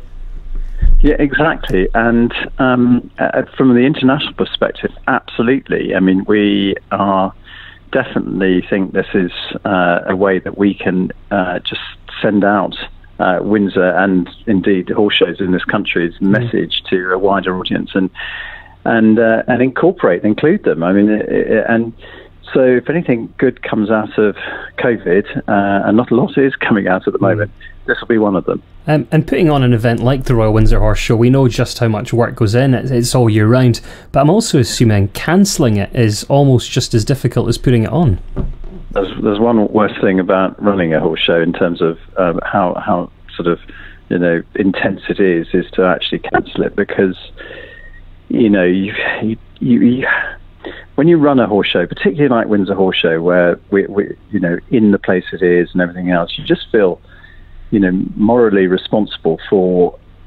you know, people who are going to lose out in desperate times. You know, some of our trade stand holders not been to a show this this year, and uh, and it, it just brings it home that it's not only you that's um, suffering; it's a whole host of people mm. and uh, and organisations, and uh, uh, and it, but it is. I mean, it's been a very intense period. Not only we've running running uh, virtual Windsor and getting that up and going, but we've also been, you know, dealing with uh, the financial um, ramifications of paying back people, uh, whether it be spectators, trade stands, and everything else, and ensuring that we're in a very good state and that people uh, respect us enough because we've looked after them to know that when we bounce back in 2021, we're going to look after them again. Moving on to you, Simon, because most people will know you from seeing you on the BBC at Olympia, um, or maybe standing in the middle of the ring at Royal Windsor with some VIPs.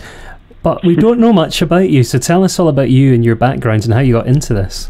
Oh gosh, well. Um, for one, I'm I'm very happy being in the background. I think people would have, if anybody knows Brooks Ward, I mean, if they're old enough, they must have known my father. Um, mm. But uh, certainly my brother, who is, we call him Nick the Gob in the family, because he's, he's, he's, he's, he's, the one that seems to be out there and, and whatever. I'm very happy um, just in the background. But yeah, no, um, I grew up in it with my father being a, a BBC commentator uh, he died, at, uh, unfortunately, when he was very young, at the age of 62. Mm. And I was running my own business uh, at the time, and I and I was working with him actually on many things. Mm. And so, at the age of 27, I found myself uh, running my own very little fledgling business, and and also trying to um, persuade people that I was old enough, big enough, and ugly enough to uh, to to to be take on the mantle Mm. And so my first show was was um, my first client was Luciano Pavarotti actually. Right. Okay. So uh, yeah, an odd one. Uh, and he was a massive uh, show jumping fan, and we ran his very big Nations Cup event in uh, Modena in Italy for ten years. Mm-hmm. And what fun that was! I mean, you know, it's been f- fun all over the place, but that was huge fun. And um, and that sort of got me going. And then Olympia came along and they backed us there. And then Windsor came along and we, I managed to persuade the committee who were sort of worried about the financials that at the age of 32 I really didn't mind and uh, it didn't really matter anyway. Uh, of course it does. Um, but I, you know, would they give me a chance? And so we took the the event on and um, haven't looked back really. And so that's on my um, that's on my that's on that's that's my career in a nutshell. And I suppose uh, I have another career in the um, in the military, so I have a sort of dual facing at the moment. And quite often, when we see Her Majesty the Queen at Windsor, you aren't too far away. Does the strangeness of of Her Majesty knowing you, knowing your name, being able to chat to you, does that does that ever wear off? Uh, never. in a word. Um, no, I, uh, you know, uh, I, in effect, uh, and we all in the office um, uh, run uh, the, the Royal Windsor Horse Show, which is synonymous with the Queen who, mm. and the Duke of Edinburgh, who are great supporters, as as are the the, the rest of the royal family. And um, uh, and we've been blessed with that. Uh, we don't take it for granted, and it's not something that I would ever talk about in terms of conversations or anything like that. But it, mm. it is, it is, um, it is wonderful that we have such support, and the fact that we are where we are inside Home Park Private, which is only open to the public five days a week, is down to support of um, Her Majesty and the Duke of Edinburgh. And you know, uh, how lucky are we? Mm. Got the, one of the best showgrounds in, in the world. And Her Majesty is just such a great horsewoman as well. And for those that haven't been to Windsor, they might not realise that she does come down, she does watch her ponies compete, and quite often you see her driving herself around. well, it it is it, it is so convenient to the castle. Mm. And it is a very private event. Uh, the Queen attends in a private capacity. There's no, there's no public engagement there. Mm. Uh, and uh, it is very relaxed, informal, and so it should be because if it isn't for the Queen, it isn't for the rest of us, and it, it, it is very much a, an, an informal setting where anybody, from the Queen to anybody can come along and just enjoy it in the relaxed environment that is uh, Royal Windsor Horse Show. And I, I think that goes from the top down, actually. Well, I'm kind of lucky enough to travel all over the world to shows, and I'm not just saying this. Royal Windsor is one of my favourites, and I can't wait till we're back there next year. Nor can I, Adam. I mean, we're we're, um, we're really looking forward to. it. I mean, it, it, has been a knocker, mm. uh, and it's a str- and, and, you know you almost kind of write um, 2020 off as being that, and uh, because uh, we're always looking at the future, and we can't wait to be back there. It's going to be um, a really bumper year next year, and uh, it's it's coupled with the Queen's 95th birthday, uh, and lots of things will be happening.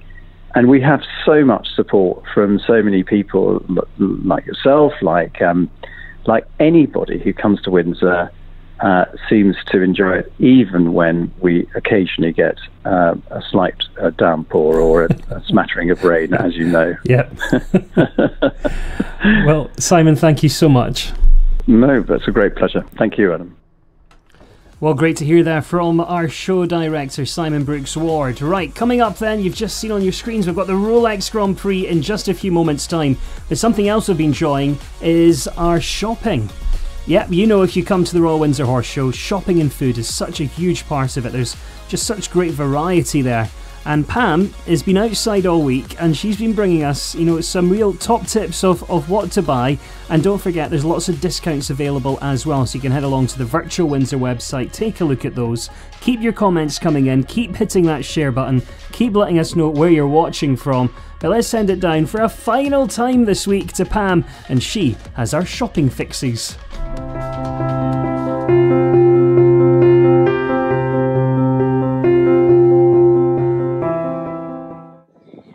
We've been blown away by the support for Virtual Windsor. Here are a few messages from our exhibitors to tell you what Windsor means to them. I really enjoy the Broad Windsor Horse Show, being a local. I love going back to my hometown and seeing it every year in the backdrop of Windsor Castle. It is lovely to see people every year and meet new ones who enjoy teaching about hats and their history. DAKS have the, one of the longest relationship with the Royal Windsor Horse Show. We are in fact in our 41st year as a sponsor of the Pony Club Mounted Games. The Pony Club is such a wonderful organization, brings children together from all over the country to compete. It's such a special moment for them and we're so proud to share in their success. I love Windsor because of the atmosphere, the show, the feeling of the whole place. It is absolutely wonderful.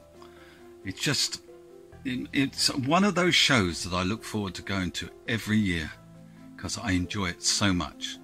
And of course, there's the odd chance of spotting royalty as well. Um, we love Windsor Horse Show and we're really gutted that we can't be there this year. Um, obviously, coronavirus has hit and um, forced us to stop. However, if we were there, we absolutely love the shopping village. Um, there's always something to do for everybody. Um, it's a really good family day out and they're so well organised. Pam and the team are brilliant and this year they've been exceptionally good. So it's a shame for us not to be exhibiting at Royal Windsor Horse Show this year. For us, we love the show because it's of its unique setting, having Windsor Castle as the backdrop, and also the variety of classes attracting a huge number of clients for different disciplines. We get to see all of you there at the show. We love Royal Windsor Horse Show because everyone is super friendly, set in such beautiful grounds and all the shows are amazing. Plus, it's just down the road from us. We're really upset that we couldn't go this year. However, we are really looking forward to seeing everyone next year. So why do we love Windsor? W, wide range of classes. I, incredible scenery. New and exciting events every year. D, delicious selection of food. Shop till you drop. O, outstanding horsemanship. Last but by no means least, the Royal Connection. Royal Windsor Horse Show is incredibly special personally for me, as well as personally for Timothy Fox. Uh, for Timothy Fox, it was our first show we ever did back in 2009, so it's our birthday show, and every year we celebrate our birthday at Royal Windsor Horse Show. We turned up in 2009 with literally a row of jackets and a row of skirts and haven't looked back. It's been a brilliant journey. We have been doing Windsor for 15 years. I love this show because it is well organised and it has a beautiful location as it's in our Queen's Back garden. I cannot begin to express how disappointed I am not to be at Windsor this year. I'll really miss it. I just love it. What is there to say? It's great and I'm missing it so much this year. Thank you for supporting our exhibitors at Royal Windsor Horse Show. We've really enjoyed putting Virtual Windsor together for you. Thank you for shopping and hopefully we'll see you in 2021. Well, we really can't wait to be back there in 2021. It's just so special to all of us involved and everyone that goes. And if you've never been, make sure you get it in your diary. You don't want to miss it. Next year, the Royal Windsor Horse Show will be back for 2021. Uh, if you've enjoyed Virtual Windsor, if you've enjoyed watching, keep telling us your favourite parts. And you may have heard Simon mention just a few minutes ago how special the royal connections are at the Royal Windsor Horse Show, and I'm delighted to say that joining us today on Virtual Windsor are their Royal Highnesses, the Earl and Countess of Wessex. Delighted to welcome their Royal Highnesses the Earl and Countess of Wessex, Royal Vice Presidents of the Royal Windsor Horse Show, to a virtual Windsor Horse Show that has been the most incredible success. And we really started it to create something, as we were saying, uh, for our exhibitors, for our trade stands who are having a terrible time in this very dark moment. Um, but what a what a success story! I mean, something like two hundred and fifty thousand views over the last five days. It's it seems ridiculous, doesn't it? I think it shows how well loved the show really is, um, and how international it is as well. And, and, actually, for many people, of course, because I've been watching how you know in, in between all of the show classes and everything, uh, the commentary going on as to people sort of sending messages in and how far afield people have been watching. Um, that actually it's given a new audience, I think, to the show, um, where people may not have actually been able to access it very much before, maybe just watched a couple of highlights or something. I think they feel very much part of something, and and hopefully, I think you know this might give the show an opportunity to to reach out a lot more in years to come, when hopefully we're back and mm. live. Yeah. Um, but you know, it will be a, a, different way of thinking as to how else the show can have a, a new platform virtually as well. And I think that you know you, you you've you filled a vacuum because uh, mm. anybody who's out there who got horses and you know, all those competitions have come to a, a grinding, shuddering halt. So this has been a fantastic way of, of actually being able to do something a little bit competitive, a little bit fun, and and the fact that you've drawn entries from so far afield. Was it 19 different countries or something? No, 83, I mean, sir. 83 different countries. 83 countries. Yeah. You know, it's brilliant. Yeah. And, you know, and that, that's you know, truly made it into an international show, which and, and more international than normal, which is which is fantastic. It's been a great response. Yeah. Thank you. And going back to 1943, Her Majesty has had so much involvement in, in the Royal Windsor Horse Show having a winner in the Cleveland Bays, and yesterday winning the side saddle with Katie Jerram and, and Stardust. I mean, fabulous, isn't it? I think it's terrific. It's it's uh, and and it's just brilliant how many people have, have entered all those showing classes. Um, and I, huge congratulations to the judges for pouring through all those entries. Particularly Nigel. I think he's probably deserves a stiff drink after all of this, frankly. More we, than one, anyway. more than one. We, we have sent him a little present. I mean, oh, he's good. quite, oh, he is quite small, so we can't give him too big, too much. But there we are. but I think going back to the, um, you know, the, the, the Queen's winners, um, I mean, certainly, I, I, think for her, but also as a family, and also anybody that comes, it's it's in her garden and you know the the home team are taking part just as much. And she absolutely adores you know the, she she loves all of her horses and her ponies and she loves to see them being shown.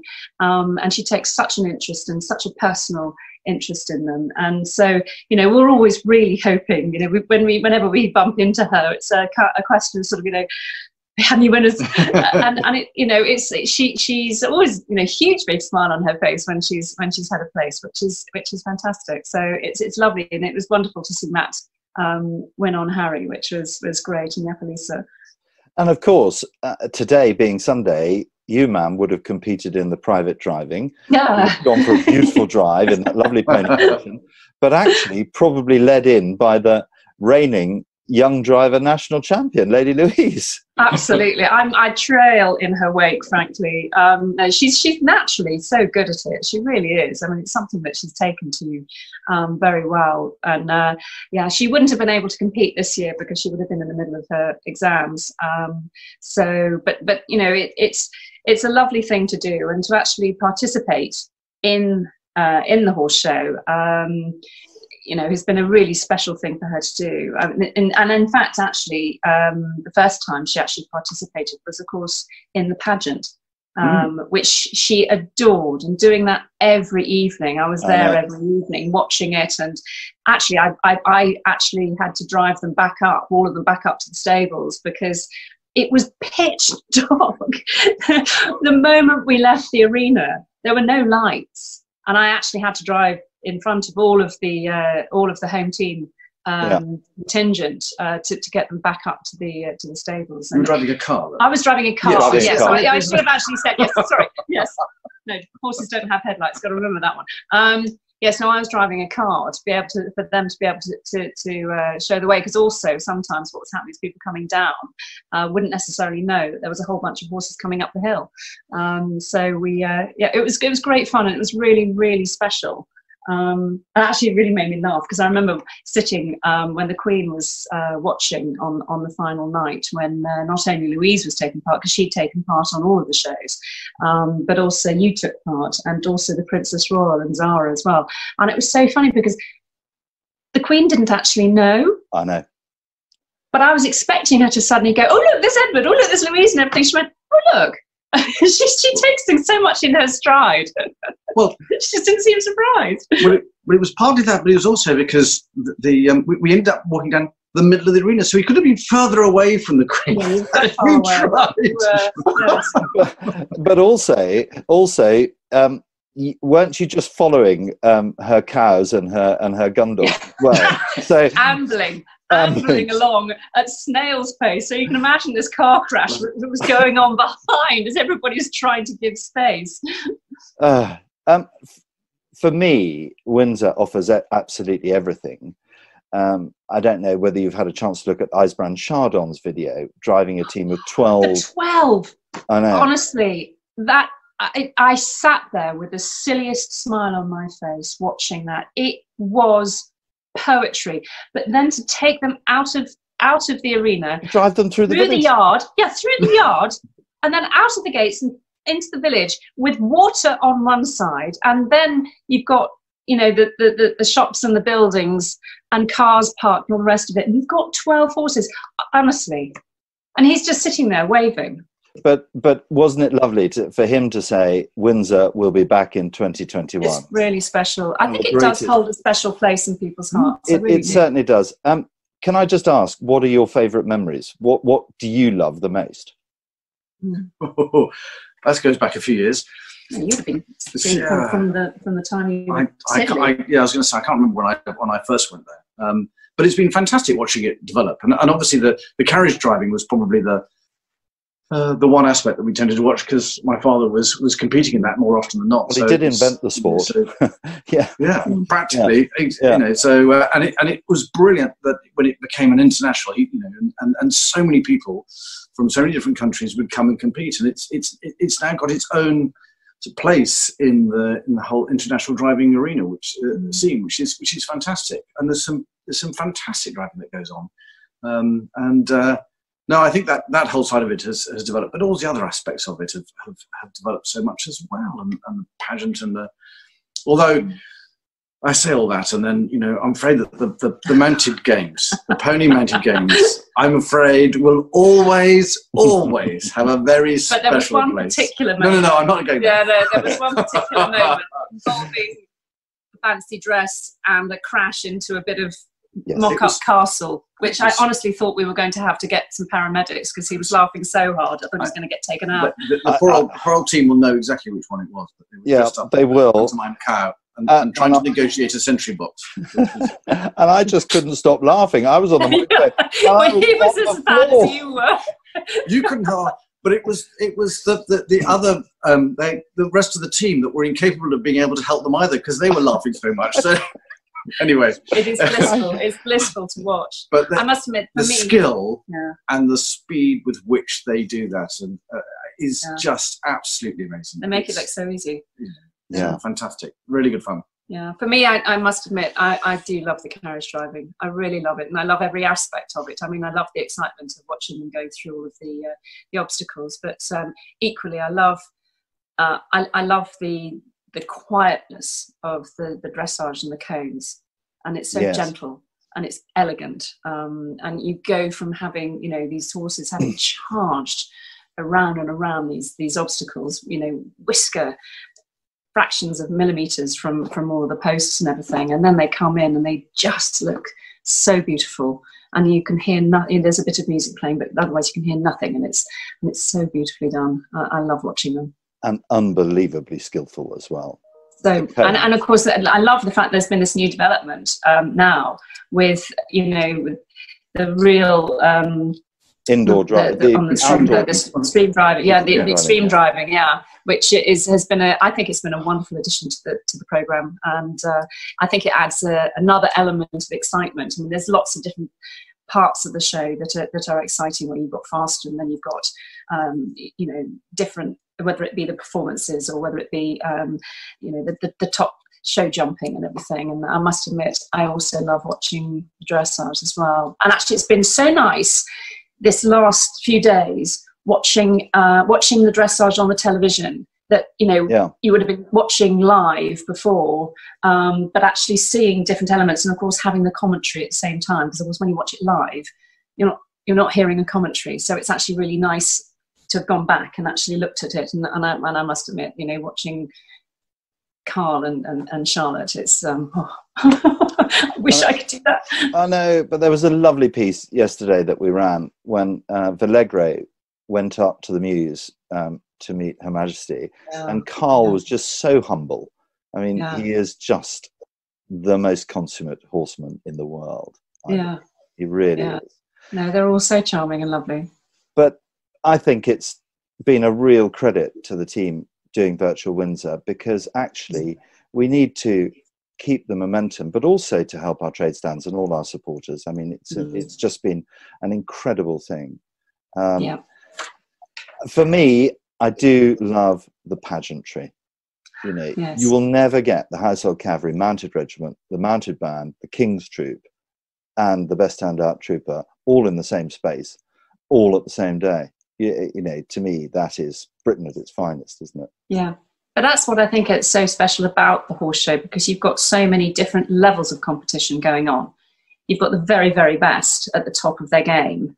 Um, and then you've also got all of the other elements as well, whether it be the military, whether it be, you know, eh, local, more locally based people. Uh, It's got such a different, it's got a, it's so multi layered. Um, And then you've got that fantastic backdrop. Well, it's unparalleled, isn't it? It Yeah. really Yep. is. It really is. Thank you so much for joining us. Um, and I do hope that you, you'll enjoy the rest of the day's coverage. We do have the Grand Prix, the unbelievable five star Grand Prix coming up a little bit later on, and the Pony Club games, sir. So um, I'm sure you'll enjoy those.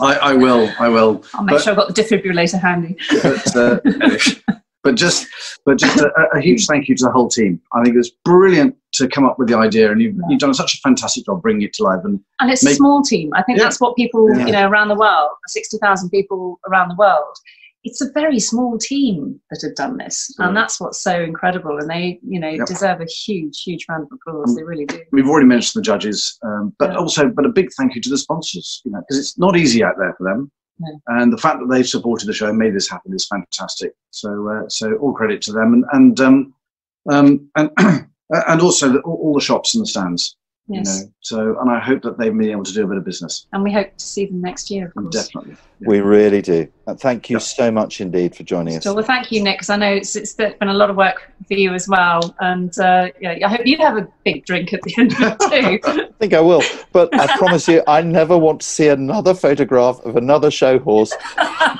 ever again. Great. Thank you very much indeed. Thank you Thank very you so much. much. Take Well care, done, Nick. Nick. Bye-bye. Bye bye. Well, fantastic to hear that from their Royal Highnesses, and thank you to everyone else who's getting in touch as well. Uh, we've got Coletta Ward saying, I've loved Virtual Windsor, fantastic. Thank you for broadcasting this. I've enjoyed every minute from Australia where, if I'm not wrong, I think it's probably the middle of the night over there. So thanks for sticking with us, Coletta. Still lots to enjoy. The Rolex Grand Prix on the way in a few minutes' time. The Household Cavalry musical ride, the King's Troop Royal Horse Artillery. Alison Tyler says, be so lovely in future years if we can have virtual coverage. I think they might. We'll have to wait and see.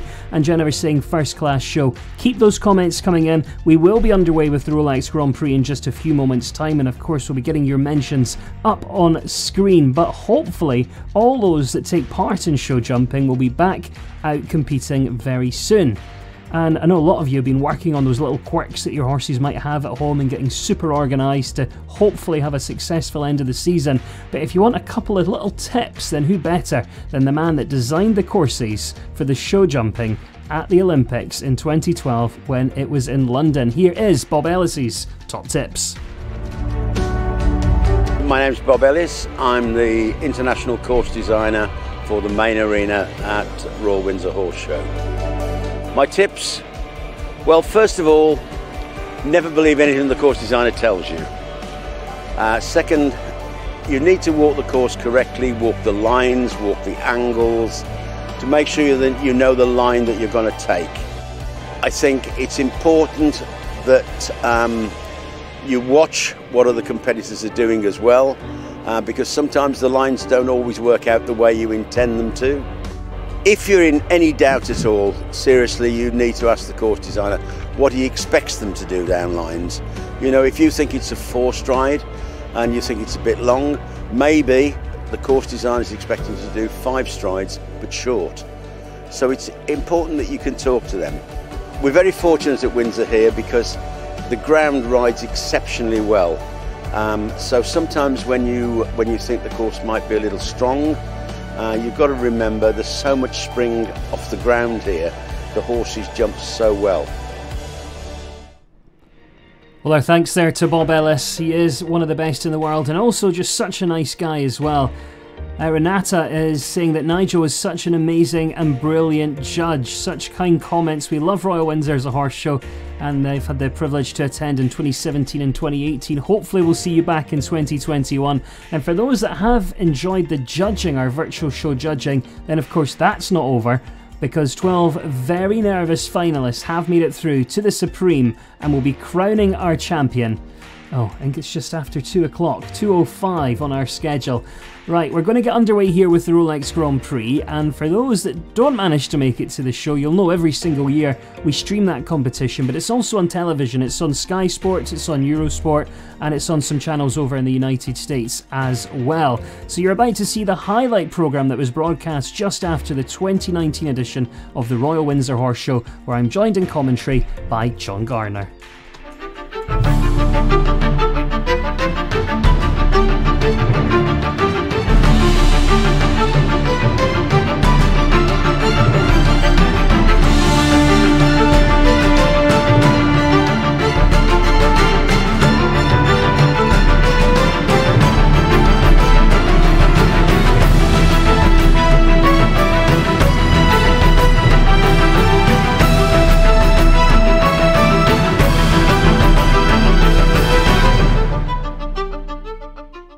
Just 20 minutes outside central London, we have travelled to the historic town of Windsor.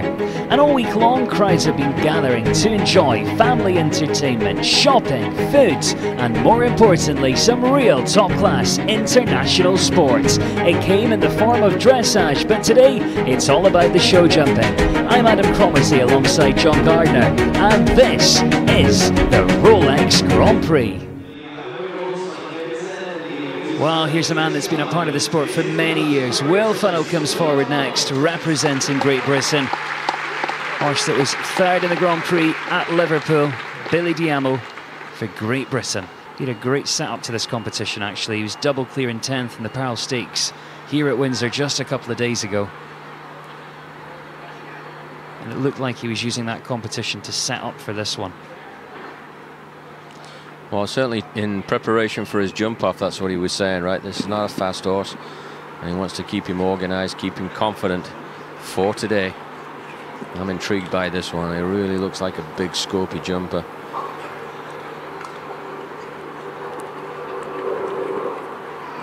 Careful enough.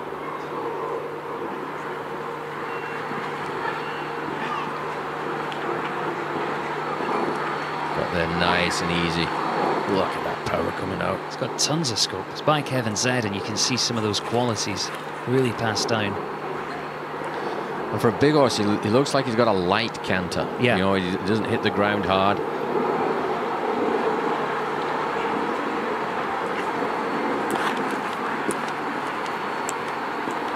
Just hitting all the numbers so far, just nice and easy.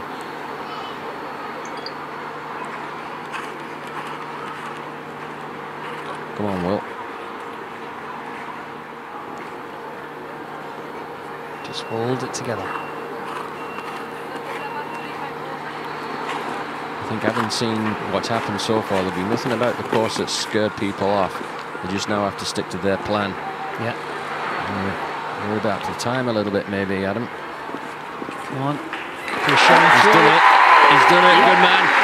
81.77. There's our first clear in the 2019 edition of the Rolex Grand Prix at the Royal Windsor Horse Show. Will Funnell for Great Britain gives us clear on number one with the incredible Billy Diamo. As we like to say over here, proper job. Yes, proper job indeed. My goodness, he rode that absolutely perfectly. He wasn't getting drawn into anything daft. Uh, right, Robert Whitaker is next. Great Britain's where we head. This has been a real useful horse to him over the years, and boy, has he done a super job with it. It's called Catwalk by Coleman. Robert Whitaker for Great Britain. He still loses focus every once in a while, but there's no question about the sheer scope and ability of this horse. When he puts it all together, he's as good as there is. Roberts himself's had a pretty good week. I think the horses know themselves, Adam. They can they can sense there's something slightly different in the air. Yeah. The riders are a bit more tense.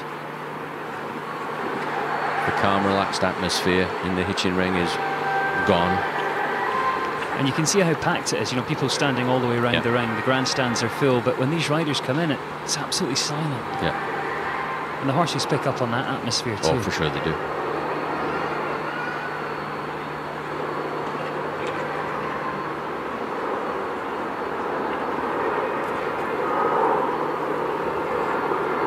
I mean, you, you'd love to be able to, as, as a coach, you know, just say, go, go ride your normal ride, go ride free and easy, it's all good. No one ever does. The pressure of the event.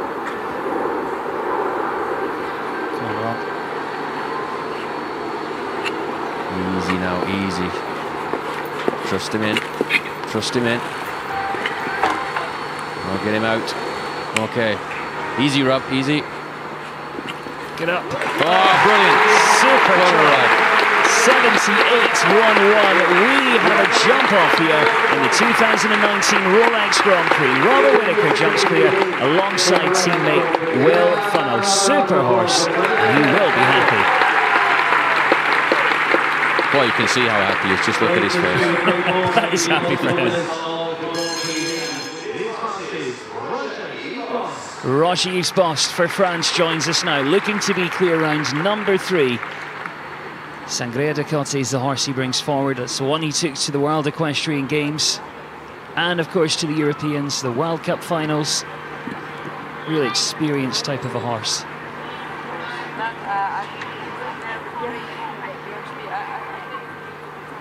Finished top 12 here in the Pearl Stakes the other day. And Roger Yves Bost, or Bosty as some people call him.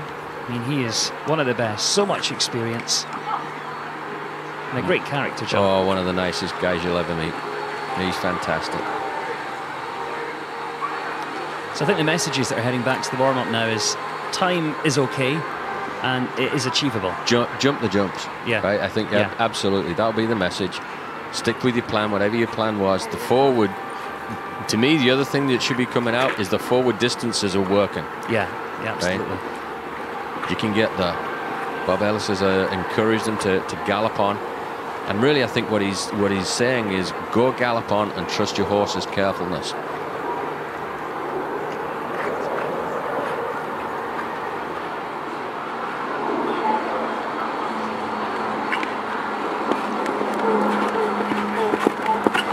can hear him using his voice and saying, whoa, whoa, whoa. Yeah.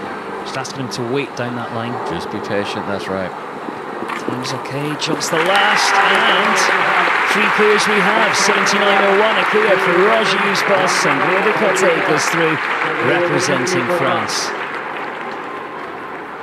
I thought six or seven clears, John. After seeing what we've seen so far, what do you think? Well, I think the thing to remember, Adam, of course, is that uh, it is seeded based on uh, world rankings yeah. in what the draw is. They get drawn in, in different groups, so theoretically, you you you do have the higher ranked athletes uh, in the world rankings coming later on. So you could reasonably expect to get more clear rounds in the later half of the draw. So we could be in for a big jump off. Here's Gregory Wathelet. Let's see if we can get him through to that jump off against the clock a little bit later. Spike is the name of the horse. He had a win here with this one earlier in the week, but I think this will be the biggest track the horse has jumped in its career so far. He's been moving it up the grades, but this is completely different to what we saw the other day. Well, Gregory there just having to ride on a little bit. Uh, the Spike at the first fancy just looked like he was a little bit uh, behind the leg.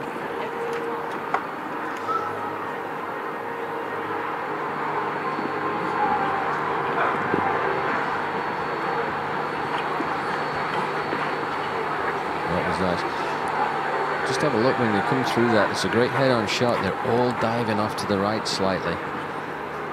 Just shaving a little bit of time, but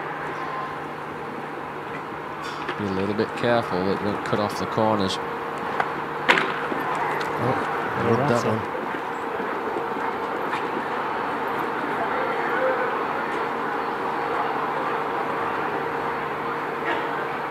These athletes are so good these days. I don't envy the job of the course designer. No, no, absolutely not. There's plenty of technical questions out there today, but when you've got 16 of the world's top 20 at an event, I mean, is limitations to what you can do.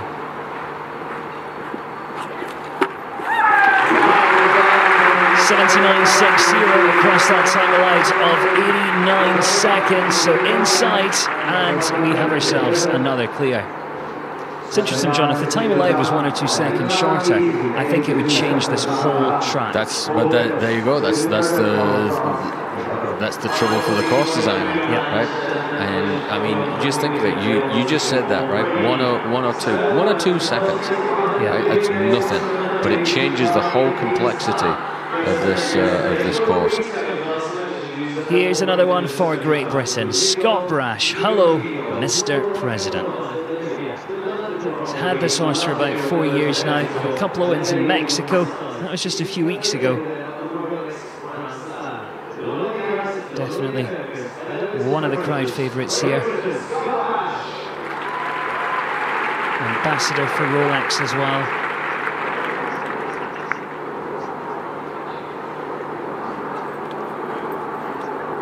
His family have been so supportive. His dad Stan was you know, taking him around all the shows when he was little, and his sister Leah still rides as well.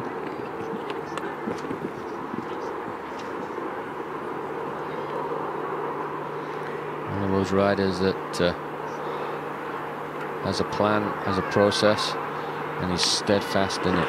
Yeah. Won't come off it. And never likes to, to rush the training process no. either. For him, it's all about the horse. Oh, I think he could feel that as he landed over the oxer.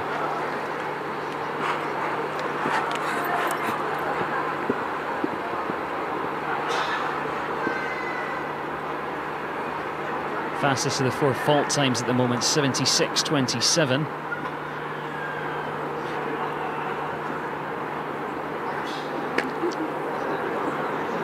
This is uh, a lesson that we were talking about earlier, teaching the horse how to gallop and jump.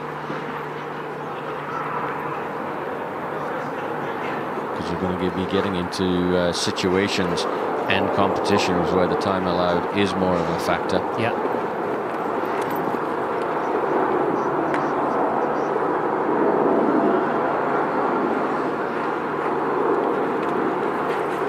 Just the one coming down today for Great Britain, Scott Brash. 76 66 is the time. second fastest of the four falters. When you see them uh, jump like that, he really dove off left. He tends to mean that they've misjudged what they're the exercise that they're coming into, and also looked at something maybe that pushed him off that far. Number 19 in the world joins us now. Simon Delestre, Hermes Ryan. Last time out, winners of the Grand Prix in Paris back at the end of March. Already won a Grand Prix in Amsterdam. Won a similar competition actually back in January. So certainly has the form.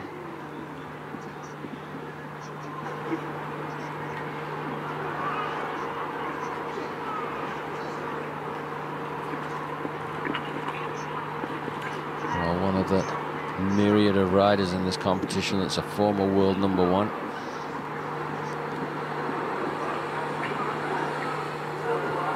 And a regular on the uh, French national team for a number of years.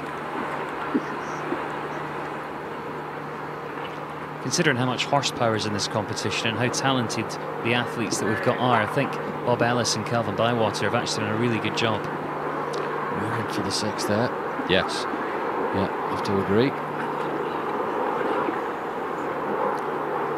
Oh, Just picking up his knitting there, dropped a needle. It's always a bit disconcerting.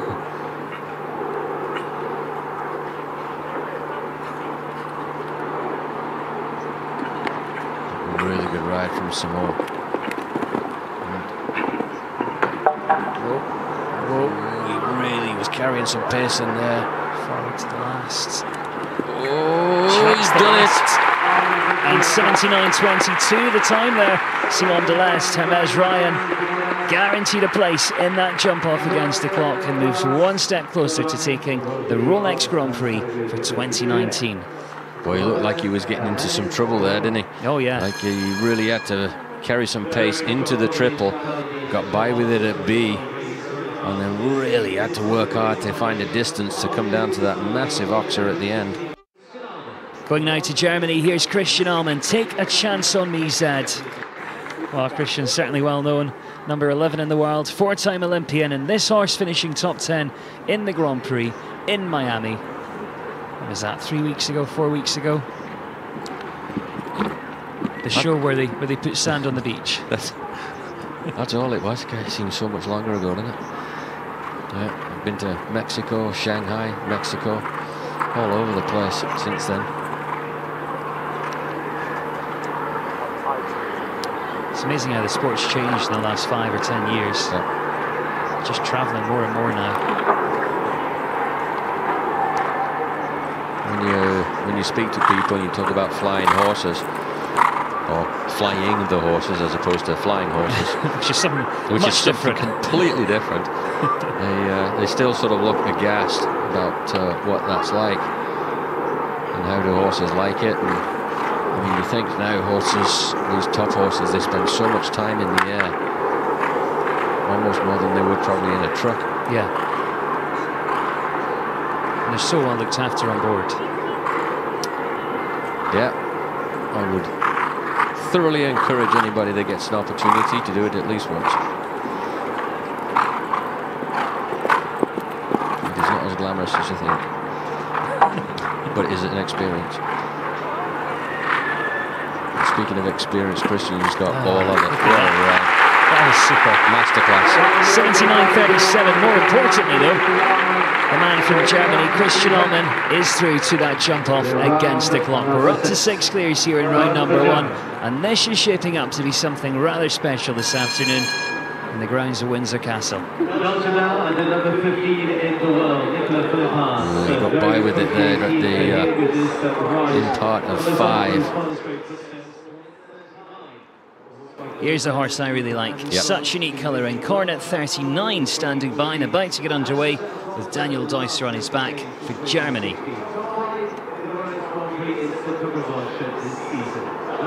Wife Caroline and daughter Stella will be watching on to number six in the world as he gets underway.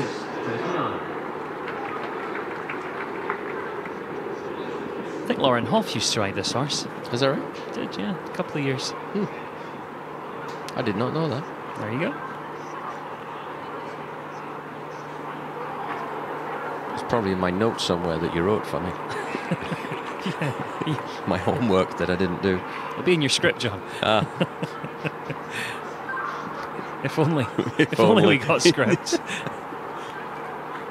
Think of the fun facts people would miss out on if we got a script. Exactly. You know, Daniel's doing a, a super job since he took over and he had a win at Olympia with this horse. It's such a neat little horse. Yeah, it was eighth here the other day. Oh, oh. See him using his big tall upper body yeah, exactly. And he just sat still, sat quiet, didn't get drawn in, allowed the uh, Shakespeare upright to come to him. Now putting the pace on a little bit around that corner, make up a touch of time. That's a great lesson there to learn. Be patient where you have to be and make up the time where you can.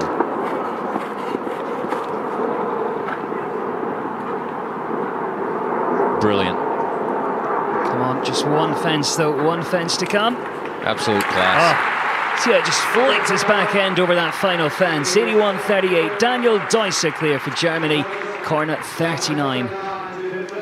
Oh, this is shaping up to be a superb jump off. We've got seven clears already, and we've got some of the best in the world still to feature here in round number one, but this horse is special. Peter Fredricson next for Sweden, three-time Olympian, H&M All-In. The horse that earned him individual silver medal at Rio. Saw him jump this the other day, just had one down in a time fault. He will be setting up for this competition here this afternoon.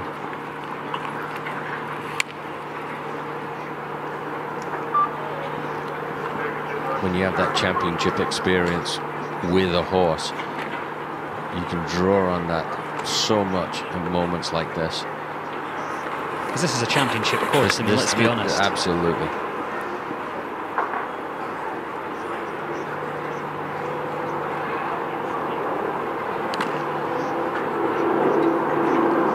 Change the signage and put the Olympic rings on, and you wouldn't be overly surprised. No. And the field would be about the same as well. It would actually. be very similar. yeah.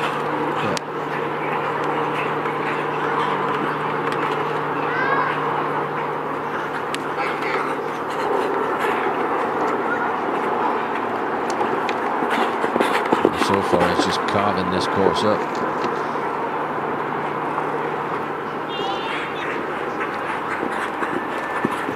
Well, that's how you do it, people.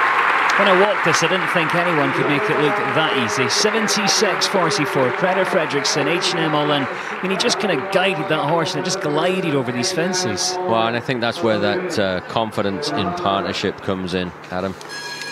There's so much trust between the horse and the rider, and the rider and the horse. Both of them know what each of them's going to do. No surprises.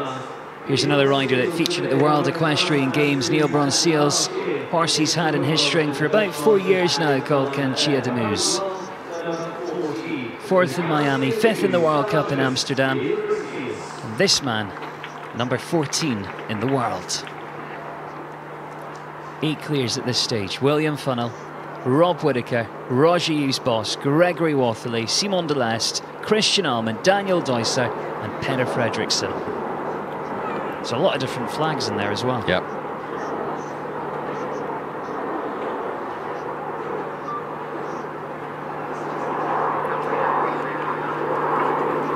And there's still some good ones to come, but you have to say that Bob Ellis has got it just about right. I mean, maybe uh, a touch with the, uh, the time allowed. But the lines have been great. It's a lovely looking course. You mentioned the time allowed there, John. I mean, if he'd reduced it by, say, two seconds to 80, we'd only lose two clears.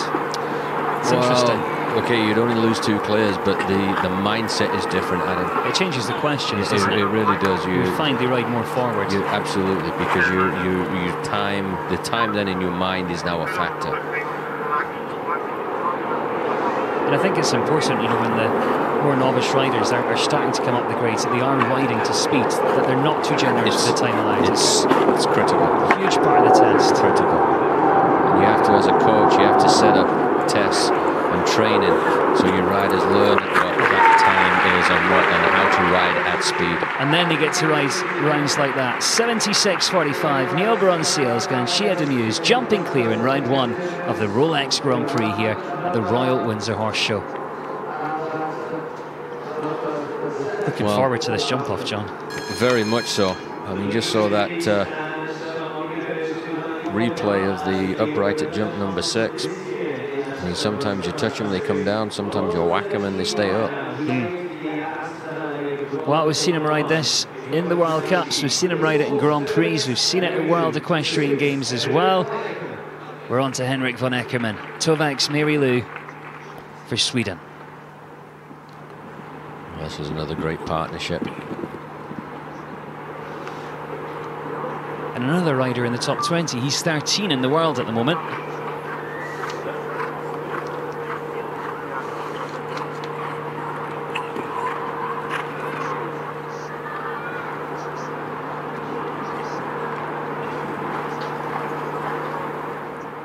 Oh, he had it as a stride. That's interesting.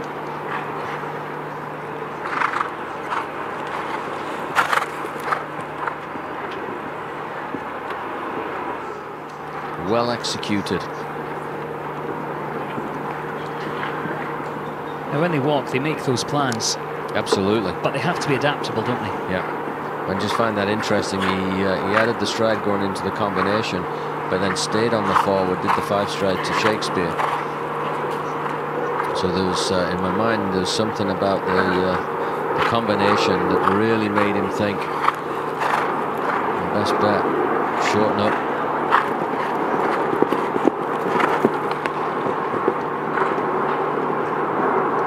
I love seeing riders in this strategy. And what great strategy he has. 77, 1-6 the time clear for Sweden. Henrik von Eckermann, Toveks, Mary Lou. Up to 10. 10 clears at this stage. He's really adjustable down that line. Turning our attention to Canada as we get down towards the final five in round number one. Eric Lamaze comes forward next with the amazing Chacco Kid. He does have a great relationship with this horse. An absolute spitfire, is Chacco. Like a little rubber ball owned by the Chacco Kid Group.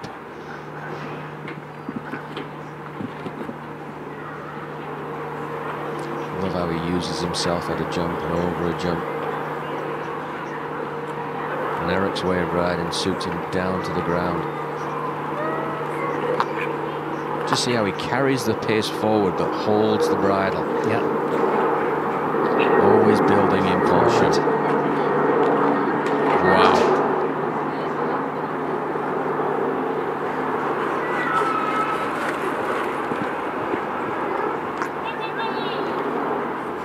What a string Eric Scott with, you know, Chacco and Fine Lady 5 as well. Oh, a little rattle there. Work down that line. Yeah, I did the six. Good call. Come on. No, needs to get back on his flow now a little bit.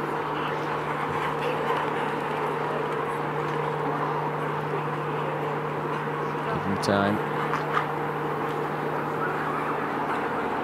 Yeah, see what he does down here. Been five all day long. Yeah. Now trust him. Now trust him. Back up. And now be patient. Perfect. Fit perfect all the way around there. 78.30. Eric Lamaze, Chacco Kid for Canada, jumping clear in round number one. And you know, the last two years, he has beaten the winning time and had the last fence in the jump off. This was some ride, and that, that's training. That is training. Galloping on down there and having faith in your horse that he'll dig himself out of that and stay off the rails.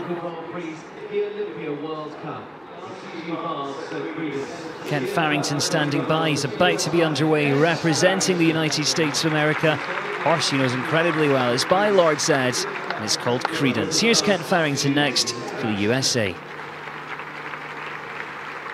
Number eight in the world now. And I would say if you're in a jump off, the one name you don't want to see coming in behind you. Yes, it's Kent. And he's won this Rolex Grand Prix before, a couple of years Yep. ago. For those with eagle eyes, you might notice this horse has got some white tape over its nose, and that's just to help keep the nostrils open and the airways working, John, isn't it? Yeah, it uh, and I've had different uh, different opinions on it. Uh, Kent thinks it, it does the job. Wow, so quick with his legs.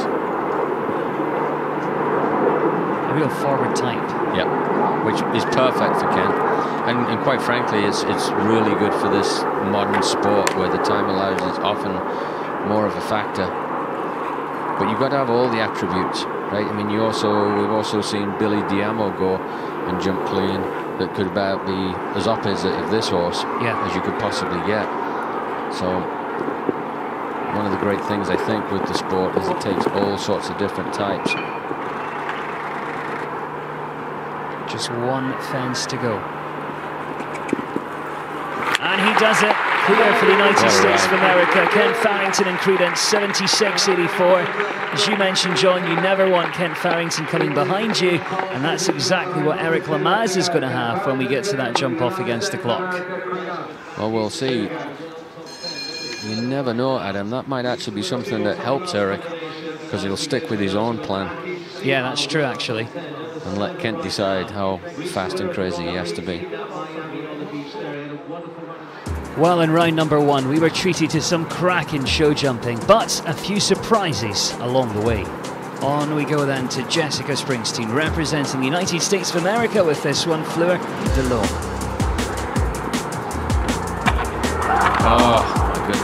That's heartbreaking for her. Ah, oh, she won't be happy with that. That fence is on a bit of a funny angle, actually. It, it is a little bit. You have to uh, you can square up. Oh my goodness! Just didn't get the distance No. down there. Total faith in the little grey. Spent a lot of her time in Great Britain. She was Watch Whoa! out, watch out, right there. pushing down there. Seeing weight on landing. Shakespeare gets another. Wow.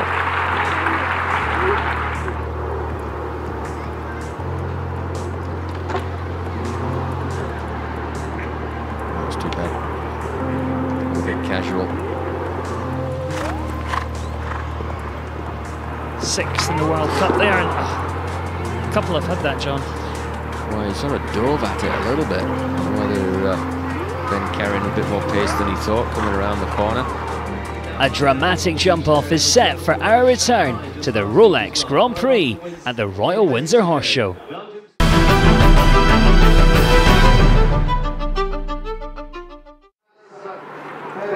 We're going to be taking a total of 12 through to that jump off Wow. against the clock.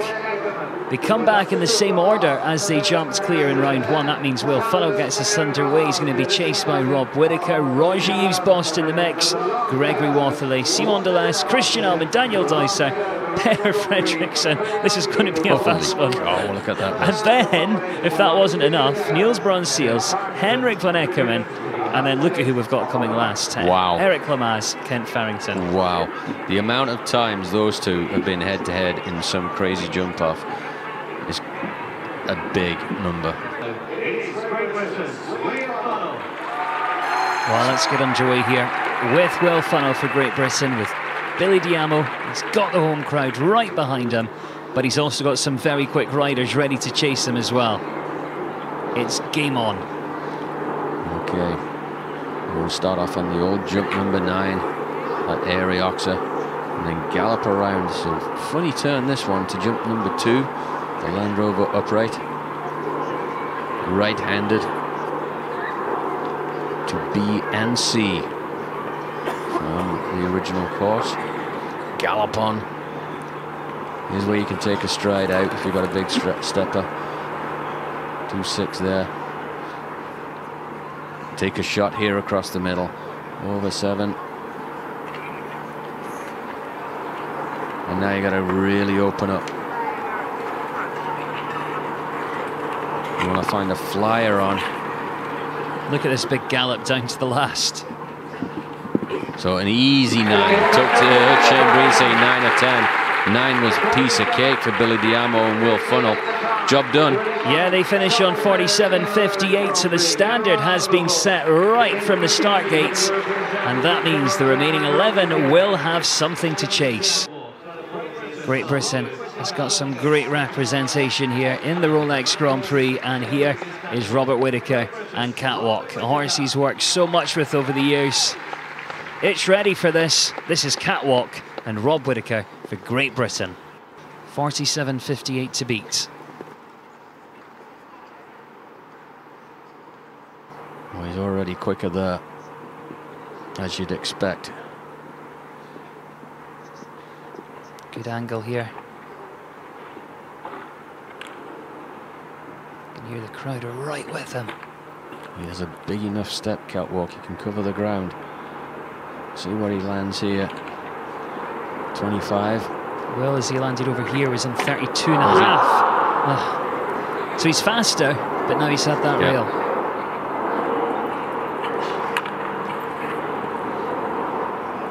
Comes down in a nice smooth stride to the last.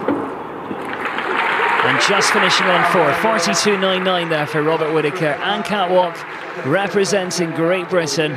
Good time, but just has that rail. Well, that's what the pressure of the jump off does. Well, let's find out then what Roger-Yves Bost is going to do. Sangria du Coty, 47.58 and 32 and a half as they land over our friend Shakespeare. I remember uh, in a class earlier in the week, Boasty was first one in, ended up with the fastest time with the rail down. He's never slow. You can see him starting at a good pace right through the start gate, and he's just kind of kept that forward rhythm. Oh, it's gone. Ah, just flattened a bit down that line.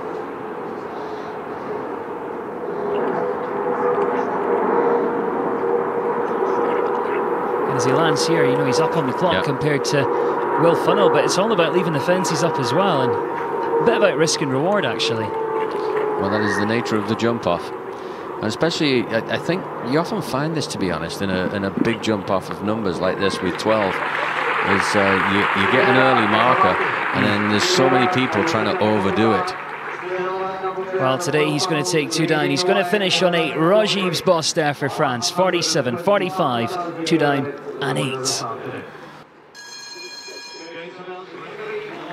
Well, here's a combination that's already had a win here at the Royal Windsor Horse Show this week. Gregory Wathelet joins us for Belgium with Spike. And Gregory was the one that won that class we were talking about with uh, Boasty being the fastest time. He was very slick.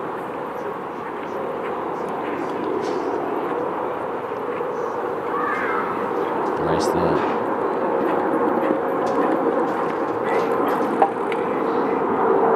Angle saving some time. He's not galloping at these, he's just keeping no, that nice smooth easy pace. six strides. He's eating up the ground. He's taking strides out. 32 and a half as well as he landed over this next fence. He's up. As you'd expect. Now he's really galloping on. One to come. Jumps this, he's into the lead. Oh, down he comes. Three Oh, seconds faster. goodness. 44, 58, three seconds faster for Gregory Wathelet for Belgium. And that story, John, has happened in this Rolex Grand Prix.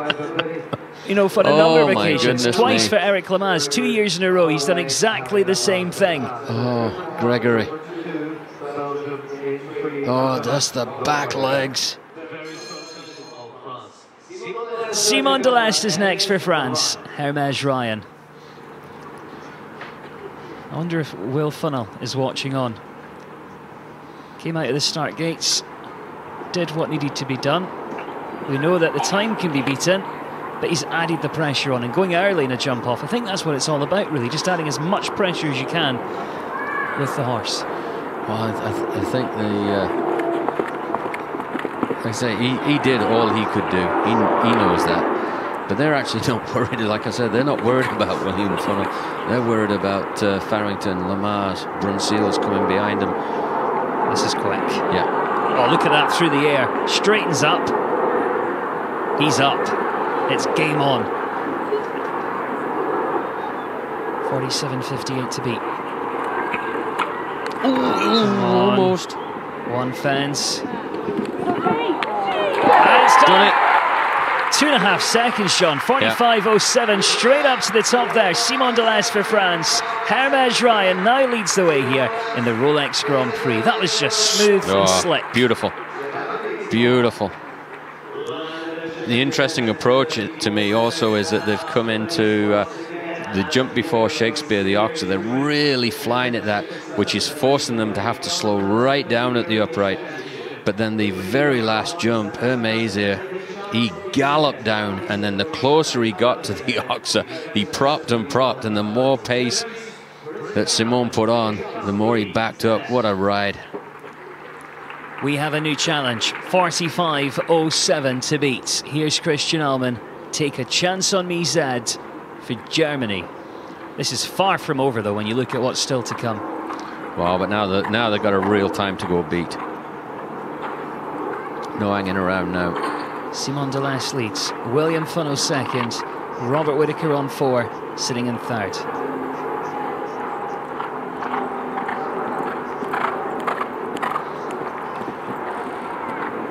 Christian, is such a technician. He's so smooth.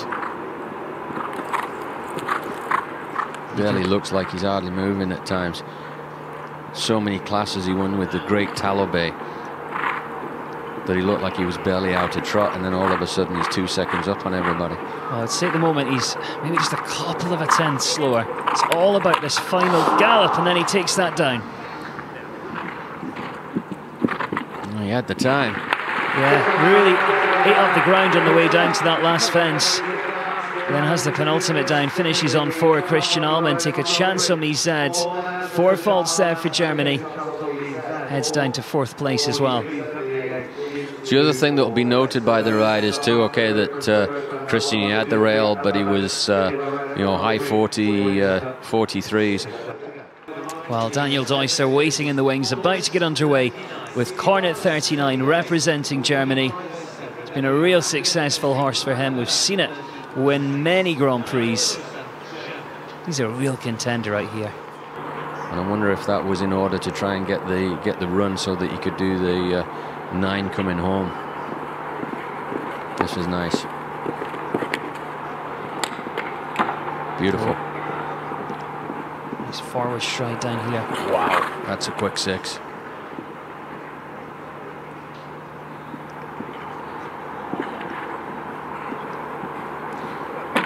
Ah. He was well up on the clock. Oh, yeah. Oh, absolutely. He's going to go for the fastest four fault spots. But the last comes down, and it's eight there. Eight for Daniel Deusser, Cornet 39, 43.80 takes him into sixth place at this stage. Bit of a shock there, actually. I'm a bit surprised. Yeah, but that happens in the jump off, right? I mean, uh, you have the you have the first one down because everything changes when you're adding the pace. Well, Peder Fredricson joins us now. His Olympic ride that brought him a silver medal in Rio. H&M, all in, a real championship type of a horse. Can he do it though? 45.07. Time to beat. France in front. That was smooth there. Yeah.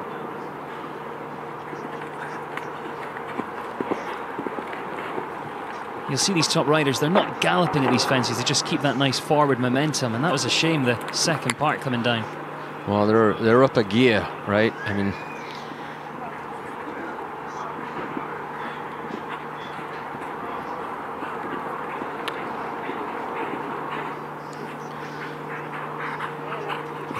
and the reason they keep going is the uh, higher up the uh, order you can get. Now it is purely about the prize money. Whoa. Good recovery there, 43.02. He's going to head down our leaderboards into fourth place. Yeah, fast four fault round. That's with Rob Whitaker at the moment. He's in third. And there's a big difference in a competition like this in terms of prize money between third and fourth place. It really is. Well, Niels Bruynseels. Now, this is one I think we should keep an eye on. And Shia de Muze, who represents Belgium, he knows what needs to be done. You can hear a pin drop out there.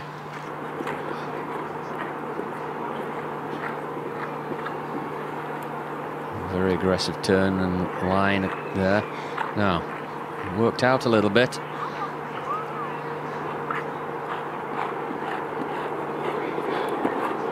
Again, she looking like she's got herself a little bit worked up. Really covered the ground. So quick. Very quick mare. Look how quickly those feet move. Nice fly straight. And he's, He is see, flying now. up on the clock at this stage. Maybe just a touch wider there, but Yeah. it's really going to cover the ground down here. 45.07 to beat. Let's take a look Easy. lands. 42.51. By two three and a half seconds. seconds. Wow. My goodness me. This competition every year it does my nerves in. I can't hardly stand it. I might not come back next year. It's always the last fence. Oh. It's always the Right. last Rolex oxer that they gallop on down to. And the frustrating thing is, I mean, I know we've got some fast ones to come, but perhaps he could have just He could have gone down there on 10 and he'd have been ahead by two seconds. exactly. you only have to win it by, I know, a hundredth of a second. exactly. Exactly. A rest, I think. Uh, right, Henrik Oh. von Eckermann is next. Toveks Mary Lou. 45.07, still the challenge. Simon Delestre leads. That was nice.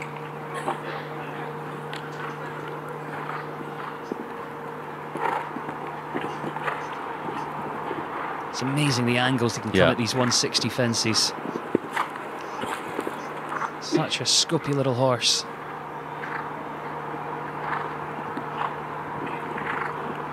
His weight. Because that jump is begging you to run at it, and you know you can't. Oh, I'd say they're about neck and neck. Oh, squeaked over. Oh, he's up now though. Easy. Come on, come on. Yep, he's done it. 43-40 Henrik von Eckermann of Sweden. Toveks Mary Lou shoots up towards the top. Yeah. Pushes Simon de Delestre to second. Will Funnell goes down into third for Great Britain. Oh, now the pressure cranks up that little bit more, right? Just a little bit more pressure. 43-40 is the new challenge. And But such you- a smooth horse round the turns. Oh, it's beautiful. That was such a nice ride here. But got so lucky here. Squeaked Henrik having a quick look behind him. And then he just went at it. Well, let me tell you a story about this man. Can I, can, I, can, I, can I go out, out back and just close my eyes? Tell me how it goes afterwards. This is Eric Lamaze, and for the last two years, he has competed in this Rolex Grand Prix. For the last two years, he has smashed the winning time and also smashed the last fence. He's had the last down two years in a row and managed to beat the time. What a great story it would be if he can leave them all up and rise to the top. He's such a quick horse. And Eric just does not know how to, he doesn't know how to quit, but that's too bad.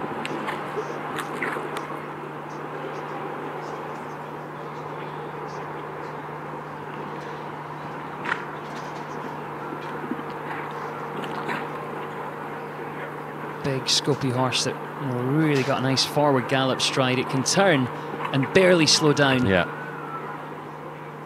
Look at the speed he comes down to the last there. And he has the last down for another year, but also another fence on track as well. So eight in total there for Eric Lamaze.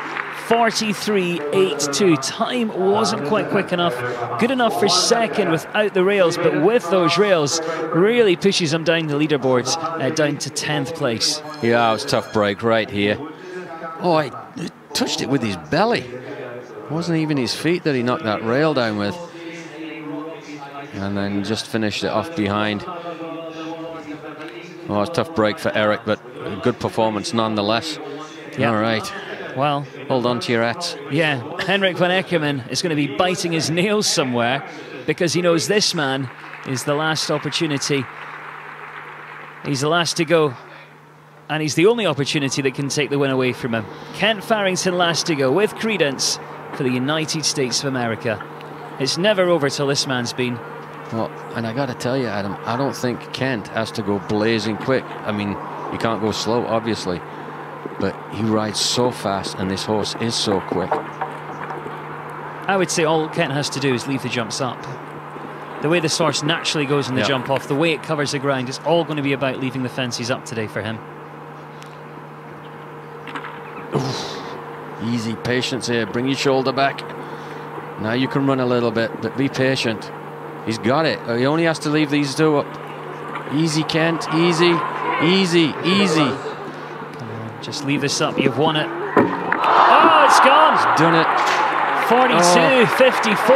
That was the exact same thing that happened to Eric Lamaze last year. And again, he's going to kick himself because, as we said, John, all you need He is a it. hundredth of a second. He, He in the it. bag. Oh, You just don't know when you're when you're out there and you're riding. You you just don't know. You you know what you think you have to do. Let's just see what happens. Oh, Creedance just dragging back feet behind. well, that is going to be a costly rail for him because he's going to move from the leading spot all the way down into fifth place. But we can say huge congratulations. Taking the win in the Rolex Grand Prix for 2019, Henrik von Eckermann and Toveks Mary Lou 43-40. Simon Delestre takes second for France, and it's going to be Great Britain's Will Funnell that finishes in third. Well, it was very, very close at the top. Simon Delestre finished in second, 45.07, and Henrik von Eckermann really beat him at the post, 43.40. Let's take a quick look at them side by side and find out exactly where he managed to make up that time. All right. Well, right, even right off the first jump, I think uh, they, were, they were pretty even. Made the turn, but straight away there, Henrik's got up a little bit, only by half a step. Simone made him back up there, pegged him back. This is a great view.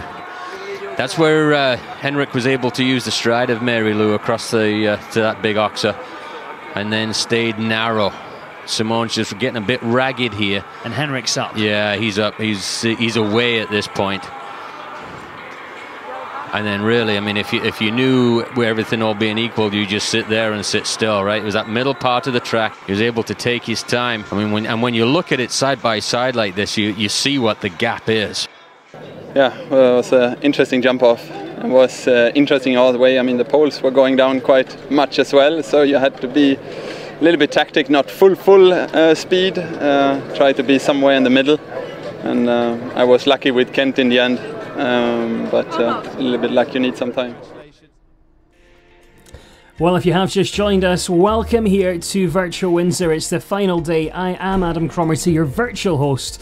And just looking back to that 2019 Rolex Grand Prix, I remember sitting next to my co-commentator John Gardner, and we were literally on the edge of our seats. We we really thought Kent was going to do it, but it all came down to that final line, I think.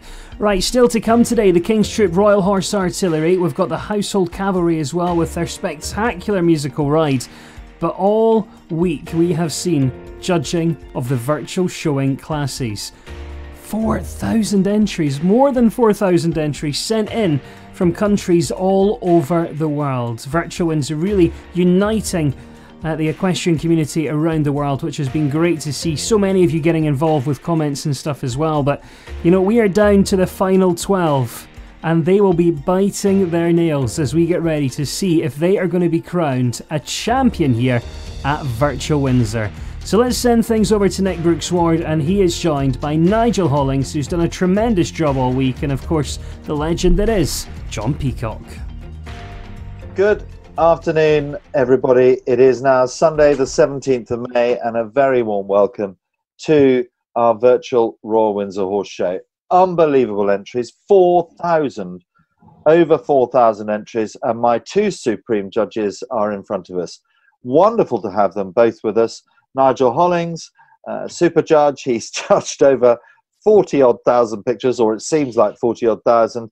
He is the chairman of the British Show Horse Association and, uh, and one of the most respected judges throughout the world in the world of the show horse. And also delighted to have John Peacock, John, who's the deputy president of the Shire Horse Society, chairman of the Shire Horse Society National Championship Show, supreme judge, you name it. Excuse me, he's judged it. So, guys, um, how difficult was this? To judge to judge the classes anyway as photographs. I'll go to you first, John. It was extremely difficult, and I probably spent more time judging these classes than I would have done had we been at the show in the ring, where you can look at the class. When you're looking at them individually, and I certainly didn't take it lightly. I spent an awful lot of time going back, enlarging them. Um, it, it wasn't the easiest job I've ever done, but it was very enjoyable. Well done. Thank you, Johnny but you didn't have as many pictures as Nigel had to judge. Nigel, have you got a new pair of glasses or a bigger computer screen or just drunk more gin? No, well, I'm going to Specsavers because actually, when I am judging, that's what most of the exhibitors say I should be going to anyway. Yeah. Um, but I'm going. I'm going to make an appointment, and uh, it's going to. I think Simon Brooks Ward. I've got to put the bill to. That's what you said. And I, I, did say that. Yes, Nigel. Yeah. Yes. Yeah. And and how's the gin consumption? Uh, I need to stock up. right, guys. It is the supreme. We've had support from over 83 countries, would you believe it? 4,000, over 4,000 entries.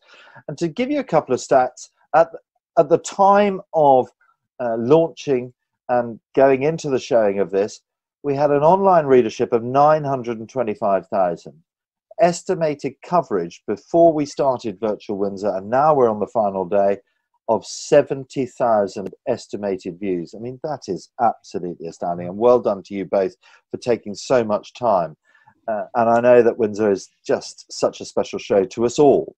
So now we're going to go down, and then I'm going to go down the 12 finalists, and then we're going to go to the first Reserve Supreme, the Reserve Supreme, and then the Supreme of the show.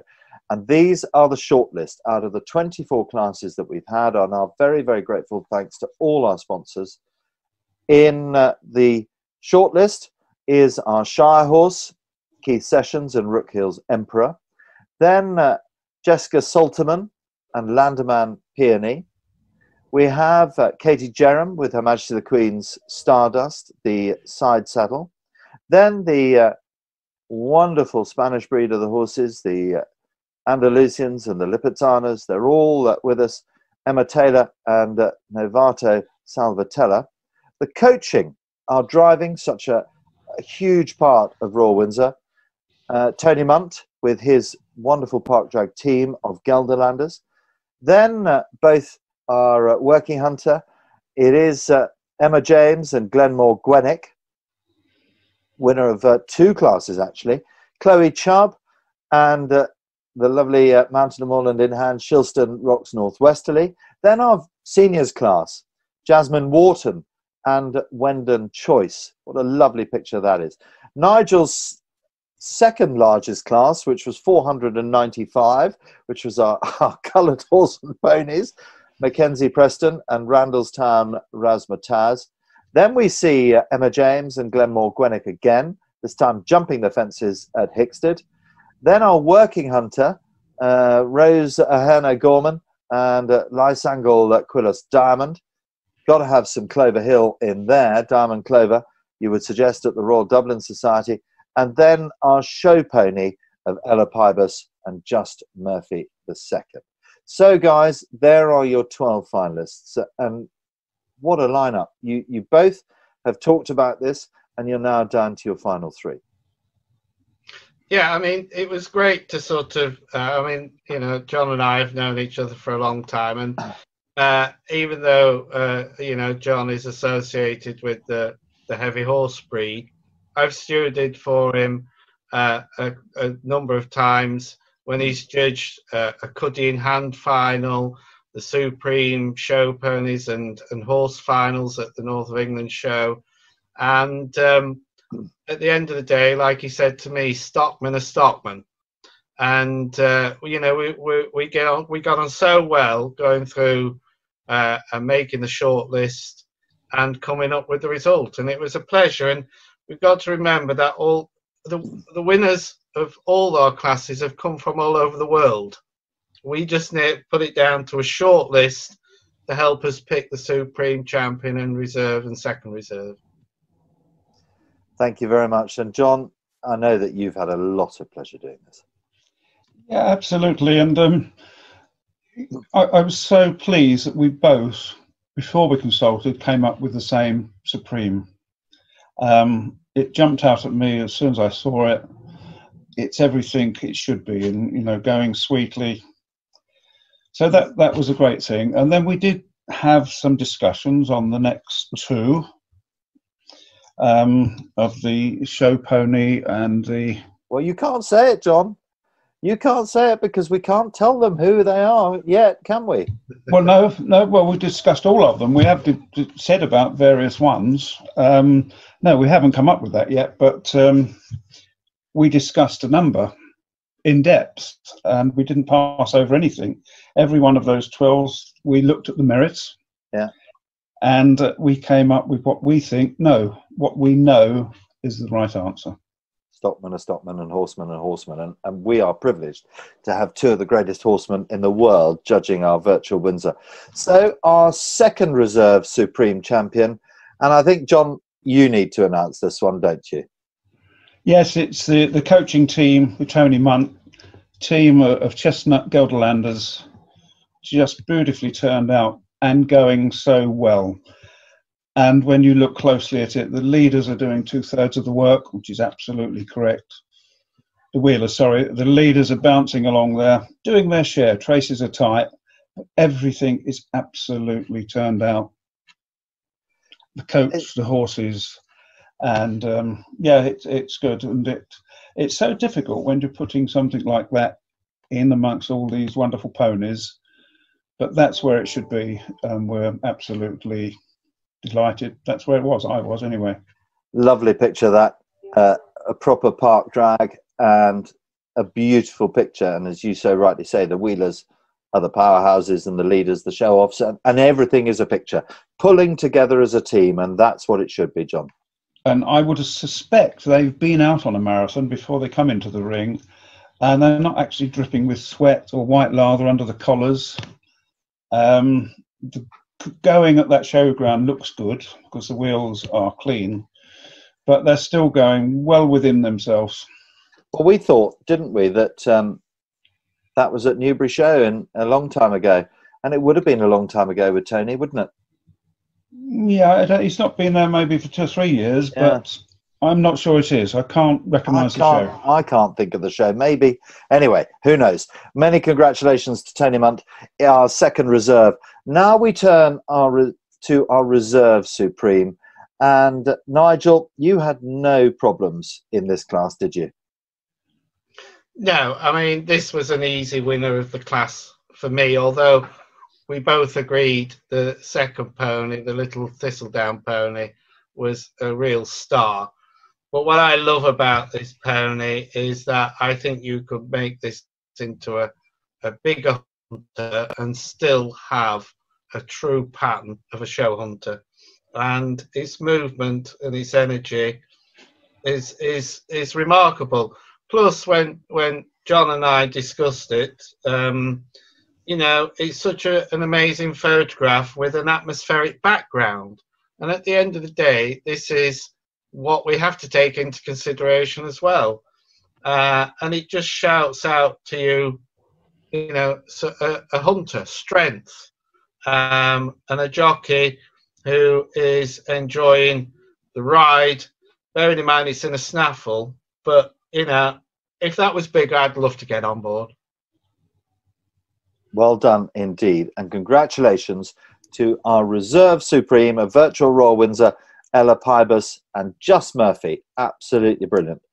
And so now, gentlemen, we come to our champion. And our champion, you both agreed, was an absolute. Nigel has got his champions rosette. Johnny's Yeah, got. there we are. There we are. and uh, and everybody's going to get a championship rosette. Well done. Thanks to Rosettes Direct. And our thanks to the Magnum Company because the winning owner is going to get a Magnum of something very special.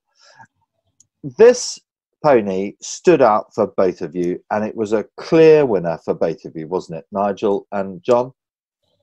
It was for me. It, it absolutely jumped off the, the screen screen when I first saw it, and it's the one I wrote down at the top of my list. And I was hoping Nigel was thinking the same. And when I spoke to him later on in the day, it was his top as well. So it, it's it's really nice that we both independently picked the same same one. And I do hope that our wonderful um, video editor, uh, Nick, can put these pictures, both pictures of this particular horse, side by side, because both pictures showed the, the pony off in absolutely everything. One jumping a fence, one showing in the international arena at Hickstead in the Al Derby meeting.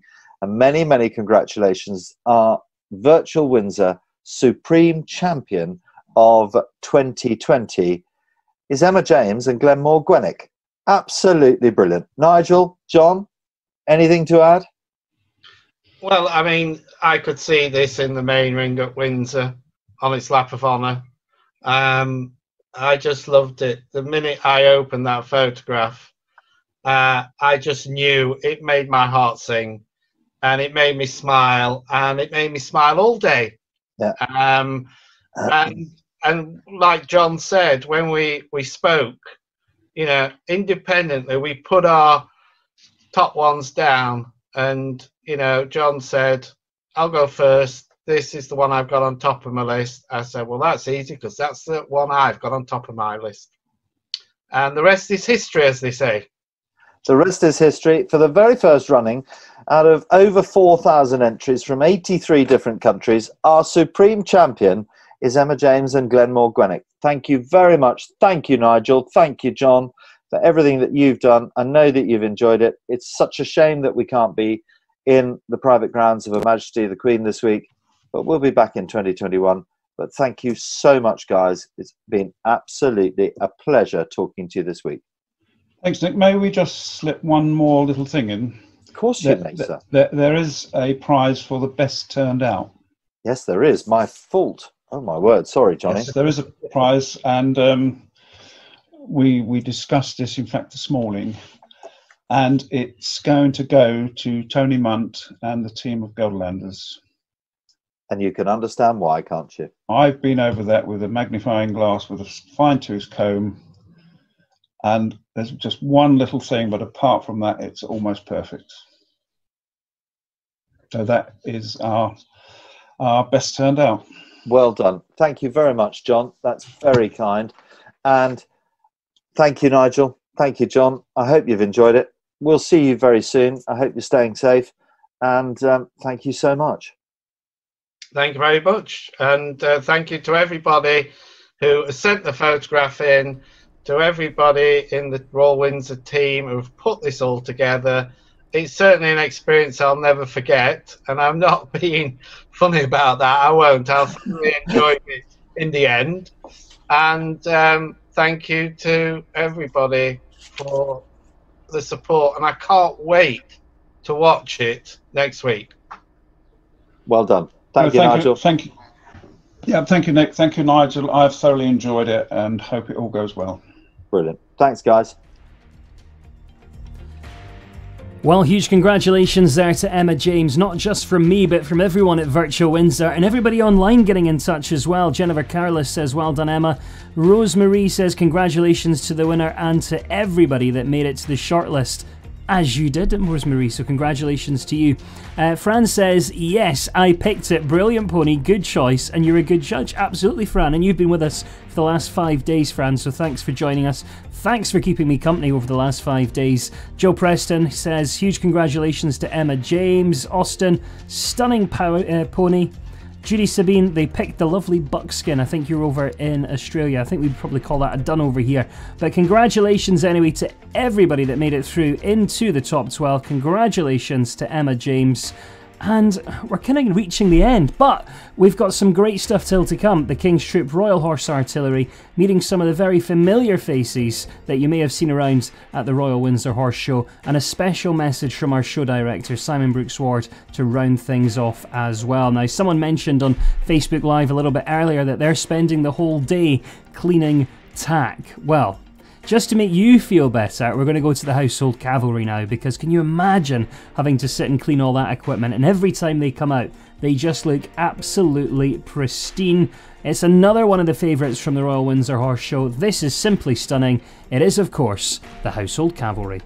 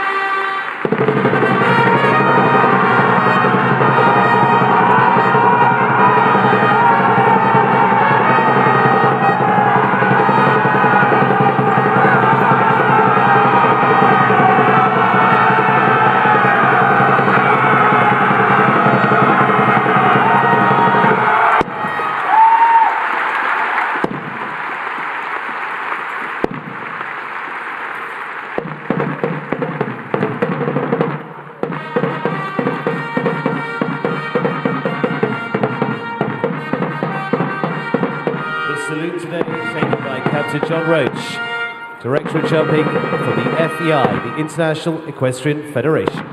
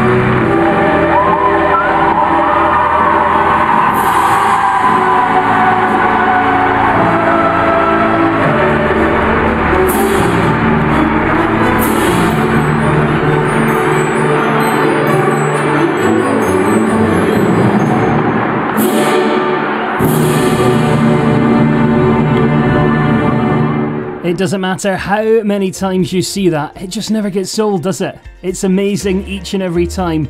Uh, Chloe's that as well, actually, on Facebook Live. Absolutely amazing. Grant says, bravo.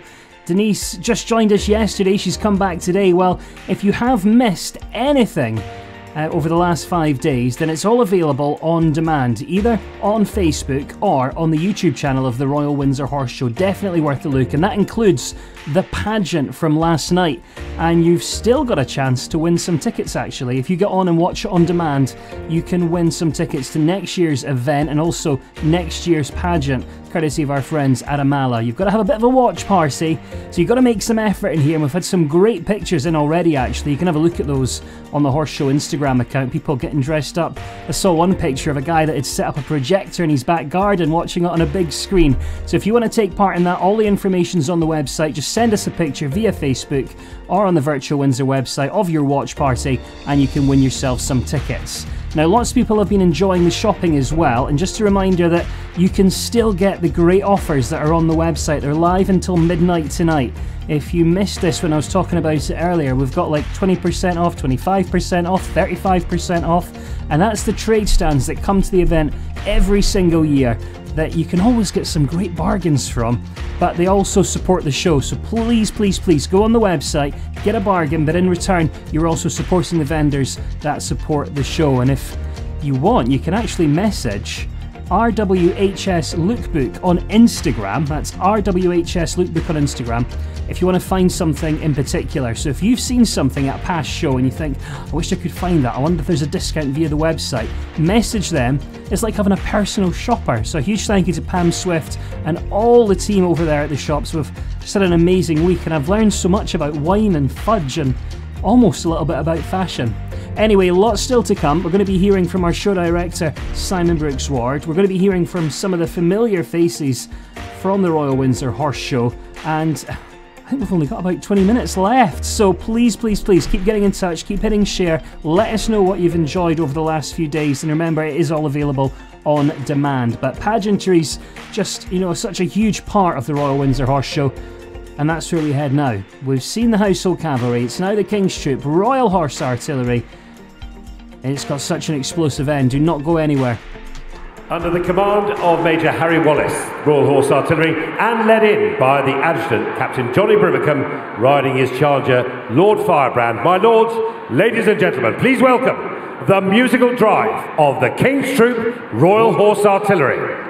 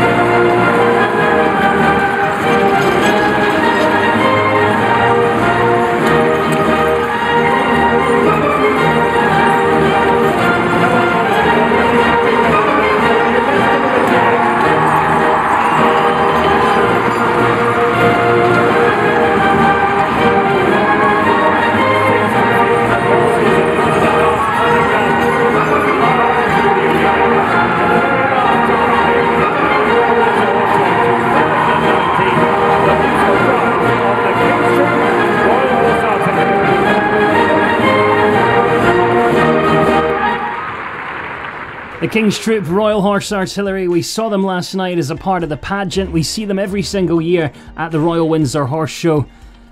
And according to Facebook, you guys absolutely love it, quite rightly so. Chloe says, absolutely brilliant, what a sight. Shane says, enjoyed watching. Emily enjoyed watching the extreme driving this morning. If you weren't with us for the extreme driving, of course, as I mentioned before, you can go back and you can watch everything on demand, either on the YouTube channel or on Facebook. We're going to be hearing from our show director, Simon Brooks Ward, in just a couple of minutes' time. But you know, when you come to the Royal Windsor Horse Show, you may not realise just how much of an army it takes to put that show on and keep everyone safe and keep all the, the horses safe that go there. So let's hand it over now to Nick Brooks Ward for a final time here at Virtual Windsor, and he's joined by some familiar faces. Very good afternoon, very good morning, wherever you're watching in the world. Welcome to the virtual Royal Windsor Horse Show. We've been conducting a number of chit chats all the way through. We've had Bernardo Costa Cabral, we've had Bob Ellis, we've had Nigel Hollings, we've had John Peacock, you name it, Alan Titchmarsh. They're all on the show. But actually, I've got three people in front of me who you will never see at the Royal Windsor Horse Show. But without them, the show doesn't happen. I'm delighted to welcome the equestrian organizer of the Royal Windsor Horse Show, Penny Henderson. Penny, who has been part of the Royal Windsor Horse Show for 39 years. Unbelievable. This would have been Penny's 39th show. We'll have a big celebration next year, Penny. We'll celebrate it as your 40th. Martin Watson, our Chief Veterinary Officer. Martin, a very good afternoon to you, who has been part of Windsor Horse Show for more years than I care to remember. And the Deputy Show Director, Tim Henson, also has been part of the show for 30 years plus. So if I can talk to you first, Penny, Penny, what does your job entail at the Royal Windsor Horse Show? Um, well, it starts a year before when we start inviting officials and judges, etc. And then writing schedules, doing timings, inviting everybody, um, doing daily on site, doing all the daily orders, and just making sure everything happens. Absolutely. And this is only in those 39 years the second ever time that we haven't run. It's so sad. But Virtual Windsor has really lifted, I, I think, don't you, Pen? And you've been instrumental in it with Nicola and, and Wiggy Bamford, Nicola Cole and your team. Sorry, I can't hear you now. Well, I'm talking about Virtual Windsor. I mean, it's just been a huge success, hasn't it, with Wiggy and Nicola behind the te- behind the scenes. Yes, I mean, Nicola having to process over 4,000 photos for the judges to look at has been worse than doing normal entries, I think. I mean, that's something like 1,500 more than we would normally have. Well, Yeah. You're a legend. You're an absolute superstar in the world of Windsor and Olympia, of course. Um, and let's turn our attention to our chief veterinary officer, Martin. At this moment in time, you would be responsible for 900 horses that staying on site and the thousand that visit each day. I mean, how long have you been doing it, and what does it entail? Well, this is my 31st horse show. So 31 years I've been involved, and I have been in this role for past 10 to 15 years, but kind of doing the role behind the scenes for probably five or six years leading up to that. Uh, the role has two parts. First of all, there is working with you three uh, during the year leading up to each show, uh, making any alterations to plans, to layout, uh, anything that turns up from the year before that we think we could do better, and also taking into consideration any disease outbreaks or concerns we have uh, with horses travelling uh, from all parts of the world uh, to Windsor. And we obviously have to take into consideration that they are coming into the Queen's back garden, into Home Park, and we need to make sure that everything is prepared accordingly and that disinfection and um, control of uh, barriers and vaccination is all in order well before any animal arrives. And Penny plays a big part in that by informing everybody and sending out notification upon my direction uh, so that we make sure that everything is up to speed.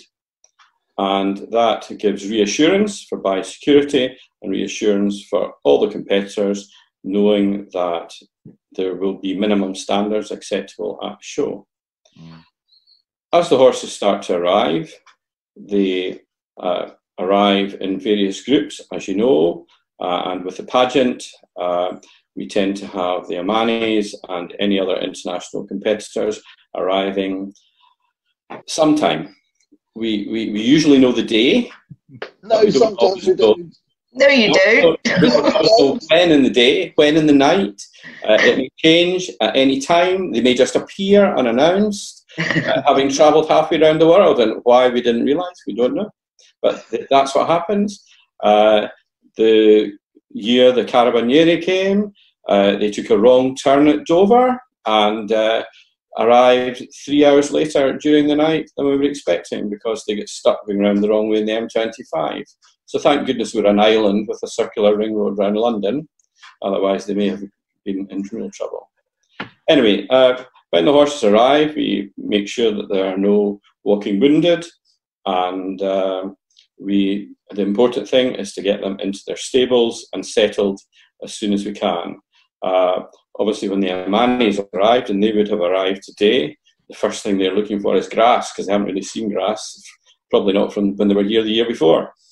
Uh, so uh, we, we get them stabled and into the, the horse accommodation, and the horses are all in separate pounds. There is the international display pound, um, and then we have the day pound, we have the FEI pounds, which of which there are three, all linked together, and uh, then we have other separate display areas, uh, and then the military area as well. And we often also have horses stabled off site. So it's a massive organisation. I'm not doing it all myself, I hasten to add. Uh, I have a team of around 20 vets to assist, uh, and it's a big operation which is all pre planned. And uh, the most important part is the organisation. And then, if you've done your organisation properly, when the event itself starts, there is a plan in place and everyone knows what to do. And as we're all professionals and used to doing it, things usually run reasonably smoothly. But obviously, there is the unforeseen, and that is why we're there to take care of it. Yeah, I know, Martin. It is. I mean, you've summed it up in about five minutes, but it, it is a year-round job for you and your team. There's no doubt about that, and you never stop. I, I would say that you are the man on that showground that has the least sleep amongst anybody because you're responsible for so many horses and you and your team, and you're the one that is always up with the Omanis, the Dubai, the Mounties, anybody, the King's Troop, the Household Cavalry. And then we turn, thank you, Martin, we turn to Tim Henson. Tim, so many guises at the Royal Windsor Horse Show. I mean, you really are poacher turned gamekeeper, back to poacher, and now at the upper echelon. But you are behind the scenes guiding everybody, aren't you?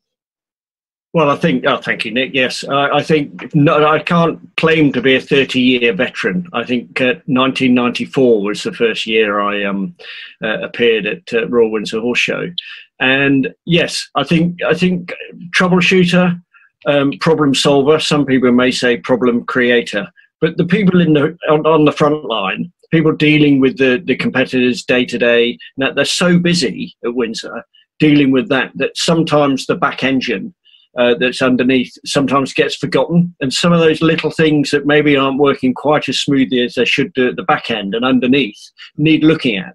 And and you know, Nick, you and, and Simon, you know, lead from the front, and, and Simon's very busy up at the front. What he's what he wants me to do is to to look at that engine and to see those niggle points to try to make it better from the ground up. So it's not the global view. My view is the detail view. Pick up a little project, see it through, force those changes that sometimes have been done for 30 years. How, why do we do it that way? Well, that's the way we've always done it. But actually, if we change it, we can improve it, we can make it safer, we can make it easier for the competitors, easier for the public. And basically, trying to come in and just analyze and see. Also, go around and see all the stewards, make sure I go to the rings at least twice a day to make sure everyone's happy, got everything they need. Because these little jobs are, are, so easily forgotten that all the volunteers who come and help and help run the classes, and without them we wouldn't be able to continue. Um, sometimes don't don't get that opportunity during the show to say, "Oh, this doesn't work quite as well as it could," or "We haven't got any tea or coffee," or small things that can make all the difference to the judges and stewards. So that's part of my role as well. So really, you summed it up. You know, you'll never see me. I'll always be walking somewhere, um, but always on a mission really just looking and seeing, you know, going to talk to the volunteers, um, the people who come and man the gates and man the crossing points and see them in their breaks and just chivvy them along and make sure that they're getting the information they need. And, and that's the role I fulfill. And I think having been at the show, as you say, in many guises um, over the years, it gives you that unique insight to, to know who's who, who does what, where they go, what they're meant to be doing, and how it should happen. And I've seen the changes, and I've worked with them, and and you know, hopefully, we bring some some development of the show while all the people on the front line are dealing with the, the front line issues. You know, I'm there paddling underneath, keeping it going, hopefully, and, and identifying areas for improvement.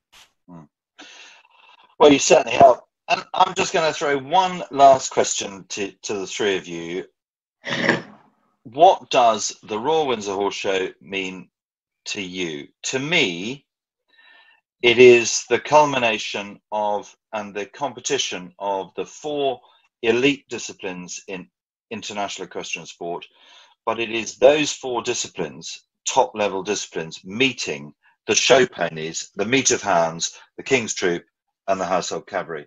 And our foreign riders, when they first come to Windsor Horse Show, are completely blown away. That's what it means to me.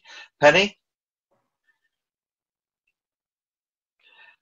The whole tradition of it all, I think. The pomp and circumstance and, and the majesty and probably and, yes. Yeah, and where we are. Martin, you don't get to see too much of the show. What does it mean to you? Neither do I. yes, you see, you see That's a very good call, Ben. Well, I have a monitor in the office, but yeah. It's probably the highlight of the year. Uh, it's fantastic to have the elite of the equestrian world in Windsor, as I said, in the Queen's back garden, with the pomp, the ceremony, and yet the competition at the highest level. Yeah. It is a, the one show in the world where all the disciplines and all the uh, the riders who just enjoy their equestrian sport, be it professional, amateur, high level, low level, come together and most importantly have a lot of fun together.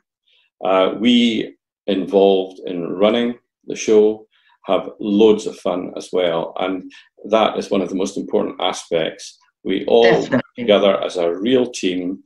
Uh, we will overcome any eventuality because we want it to work.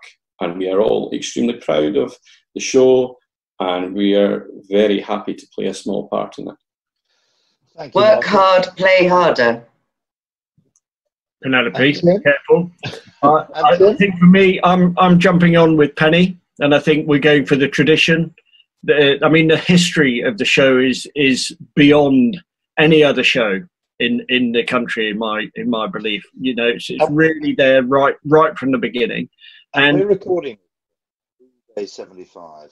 And what we must never forget that was in 1943, the Windsor Horse and Dog Show Society was born to raise money to buy Spitfires for the war effort. Yeah, yeah, no, that's good. And the one thing when someone asked me uh, what it was I was missing during lockdown. And I said, well, this week I would be at Badminton, next week I'd be at Windsor. Am I missing the work? No. Am I missing the people?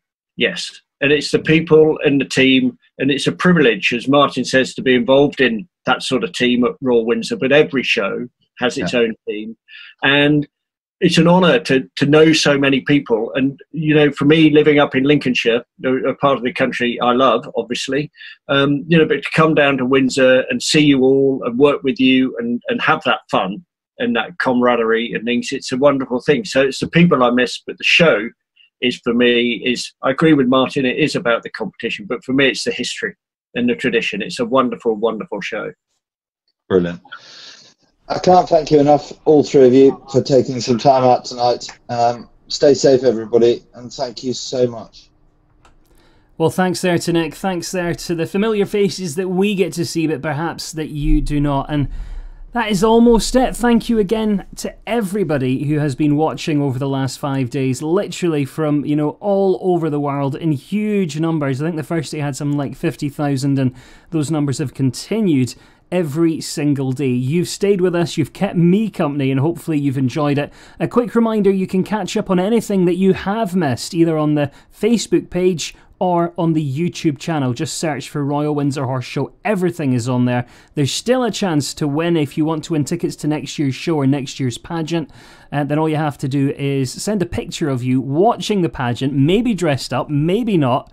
And uh, you can send that through social media or on the Virtual Windsor website. And while you're on the website, do remember you can still shop on there for the coming days and weeks. And many of the offers we've been discussing, you know, the 25% off, 35% off, those offers are still live until midnight. And if you want any help finding something, if you saw something last year and you thought, I'm going to get that next year, as in this year, but you've not been able to, are you still with me? Then you can head on to Instagram and message RWHS Lookbook. That's RWHS Lookbook. It's like a personal shopping service, and they'll be able to to help you out. But you know, do go back, watch the pageant, watch anything that you have missed because it's really been spectacular. And I'm just sorry that we couldn't be in the Queen's back garden. Uh, you know, it's only open to the public for five days of the year. We're all so lucky to normally be there. But thank you to everyone who has joined us over the last five days, and I can't wait to be back at the event in 2021. I really hope you'll make the journey from wherever you're based to come and enjoy, which is uh, one of my favourite shows. But for me, Adam Cromarty, that's it for me. But uh, we're going to hand it over now to our show director for his final words, Mr. Simon Brooks Ward. Well, here we are, the last day of Virtual Windsor 2020. We hope that you've enjoyed the last five days of fun, competition, and uh, lovely interviews uh, from all those people that have contributed. Um, you may recognise this horse uh, if you were at Windsor Horse Show last year. This is Jewel, and uh, she was created by Alan Titchmarsh, who's been one of our contributors uh, here this week and it was created for the World Horse Welfare. And many of them were sold off for that World Horse Wel- Welfare charity. And I'm sure you all know how uh, difficult it is for charities nowadays uh, in this in this COVID-19 world that we live in. Uh, and I'd urge you to support Equestrian Relief and everything else that goes on within the charity world uh, for equine and others, and of course the NHS. But this is Jewel, and Jewel is very special to us because it's created by Alan Titchmarsh and it has all the flowers from all four nations. So here we are at the end, and there are so many thank yous to say to everybody that's put this uh, this effort together. It has been a Herculean effort in every every regard. First of all, to the judges, to Nigel Hollings and his team of John Peacock, Linda Lawrence, Anthony Fanshawe, and Lord Charles Beresford, and even my wife Annabelle, who have judged uh, throughout this week, uh, and to Nigel Hollings in particular, who's gone through over three and a half thousand photographs and given everyone uh, due attention uh, to come up with the winners. Uh, and I can't thank him enough. I can't thank our contributors enough.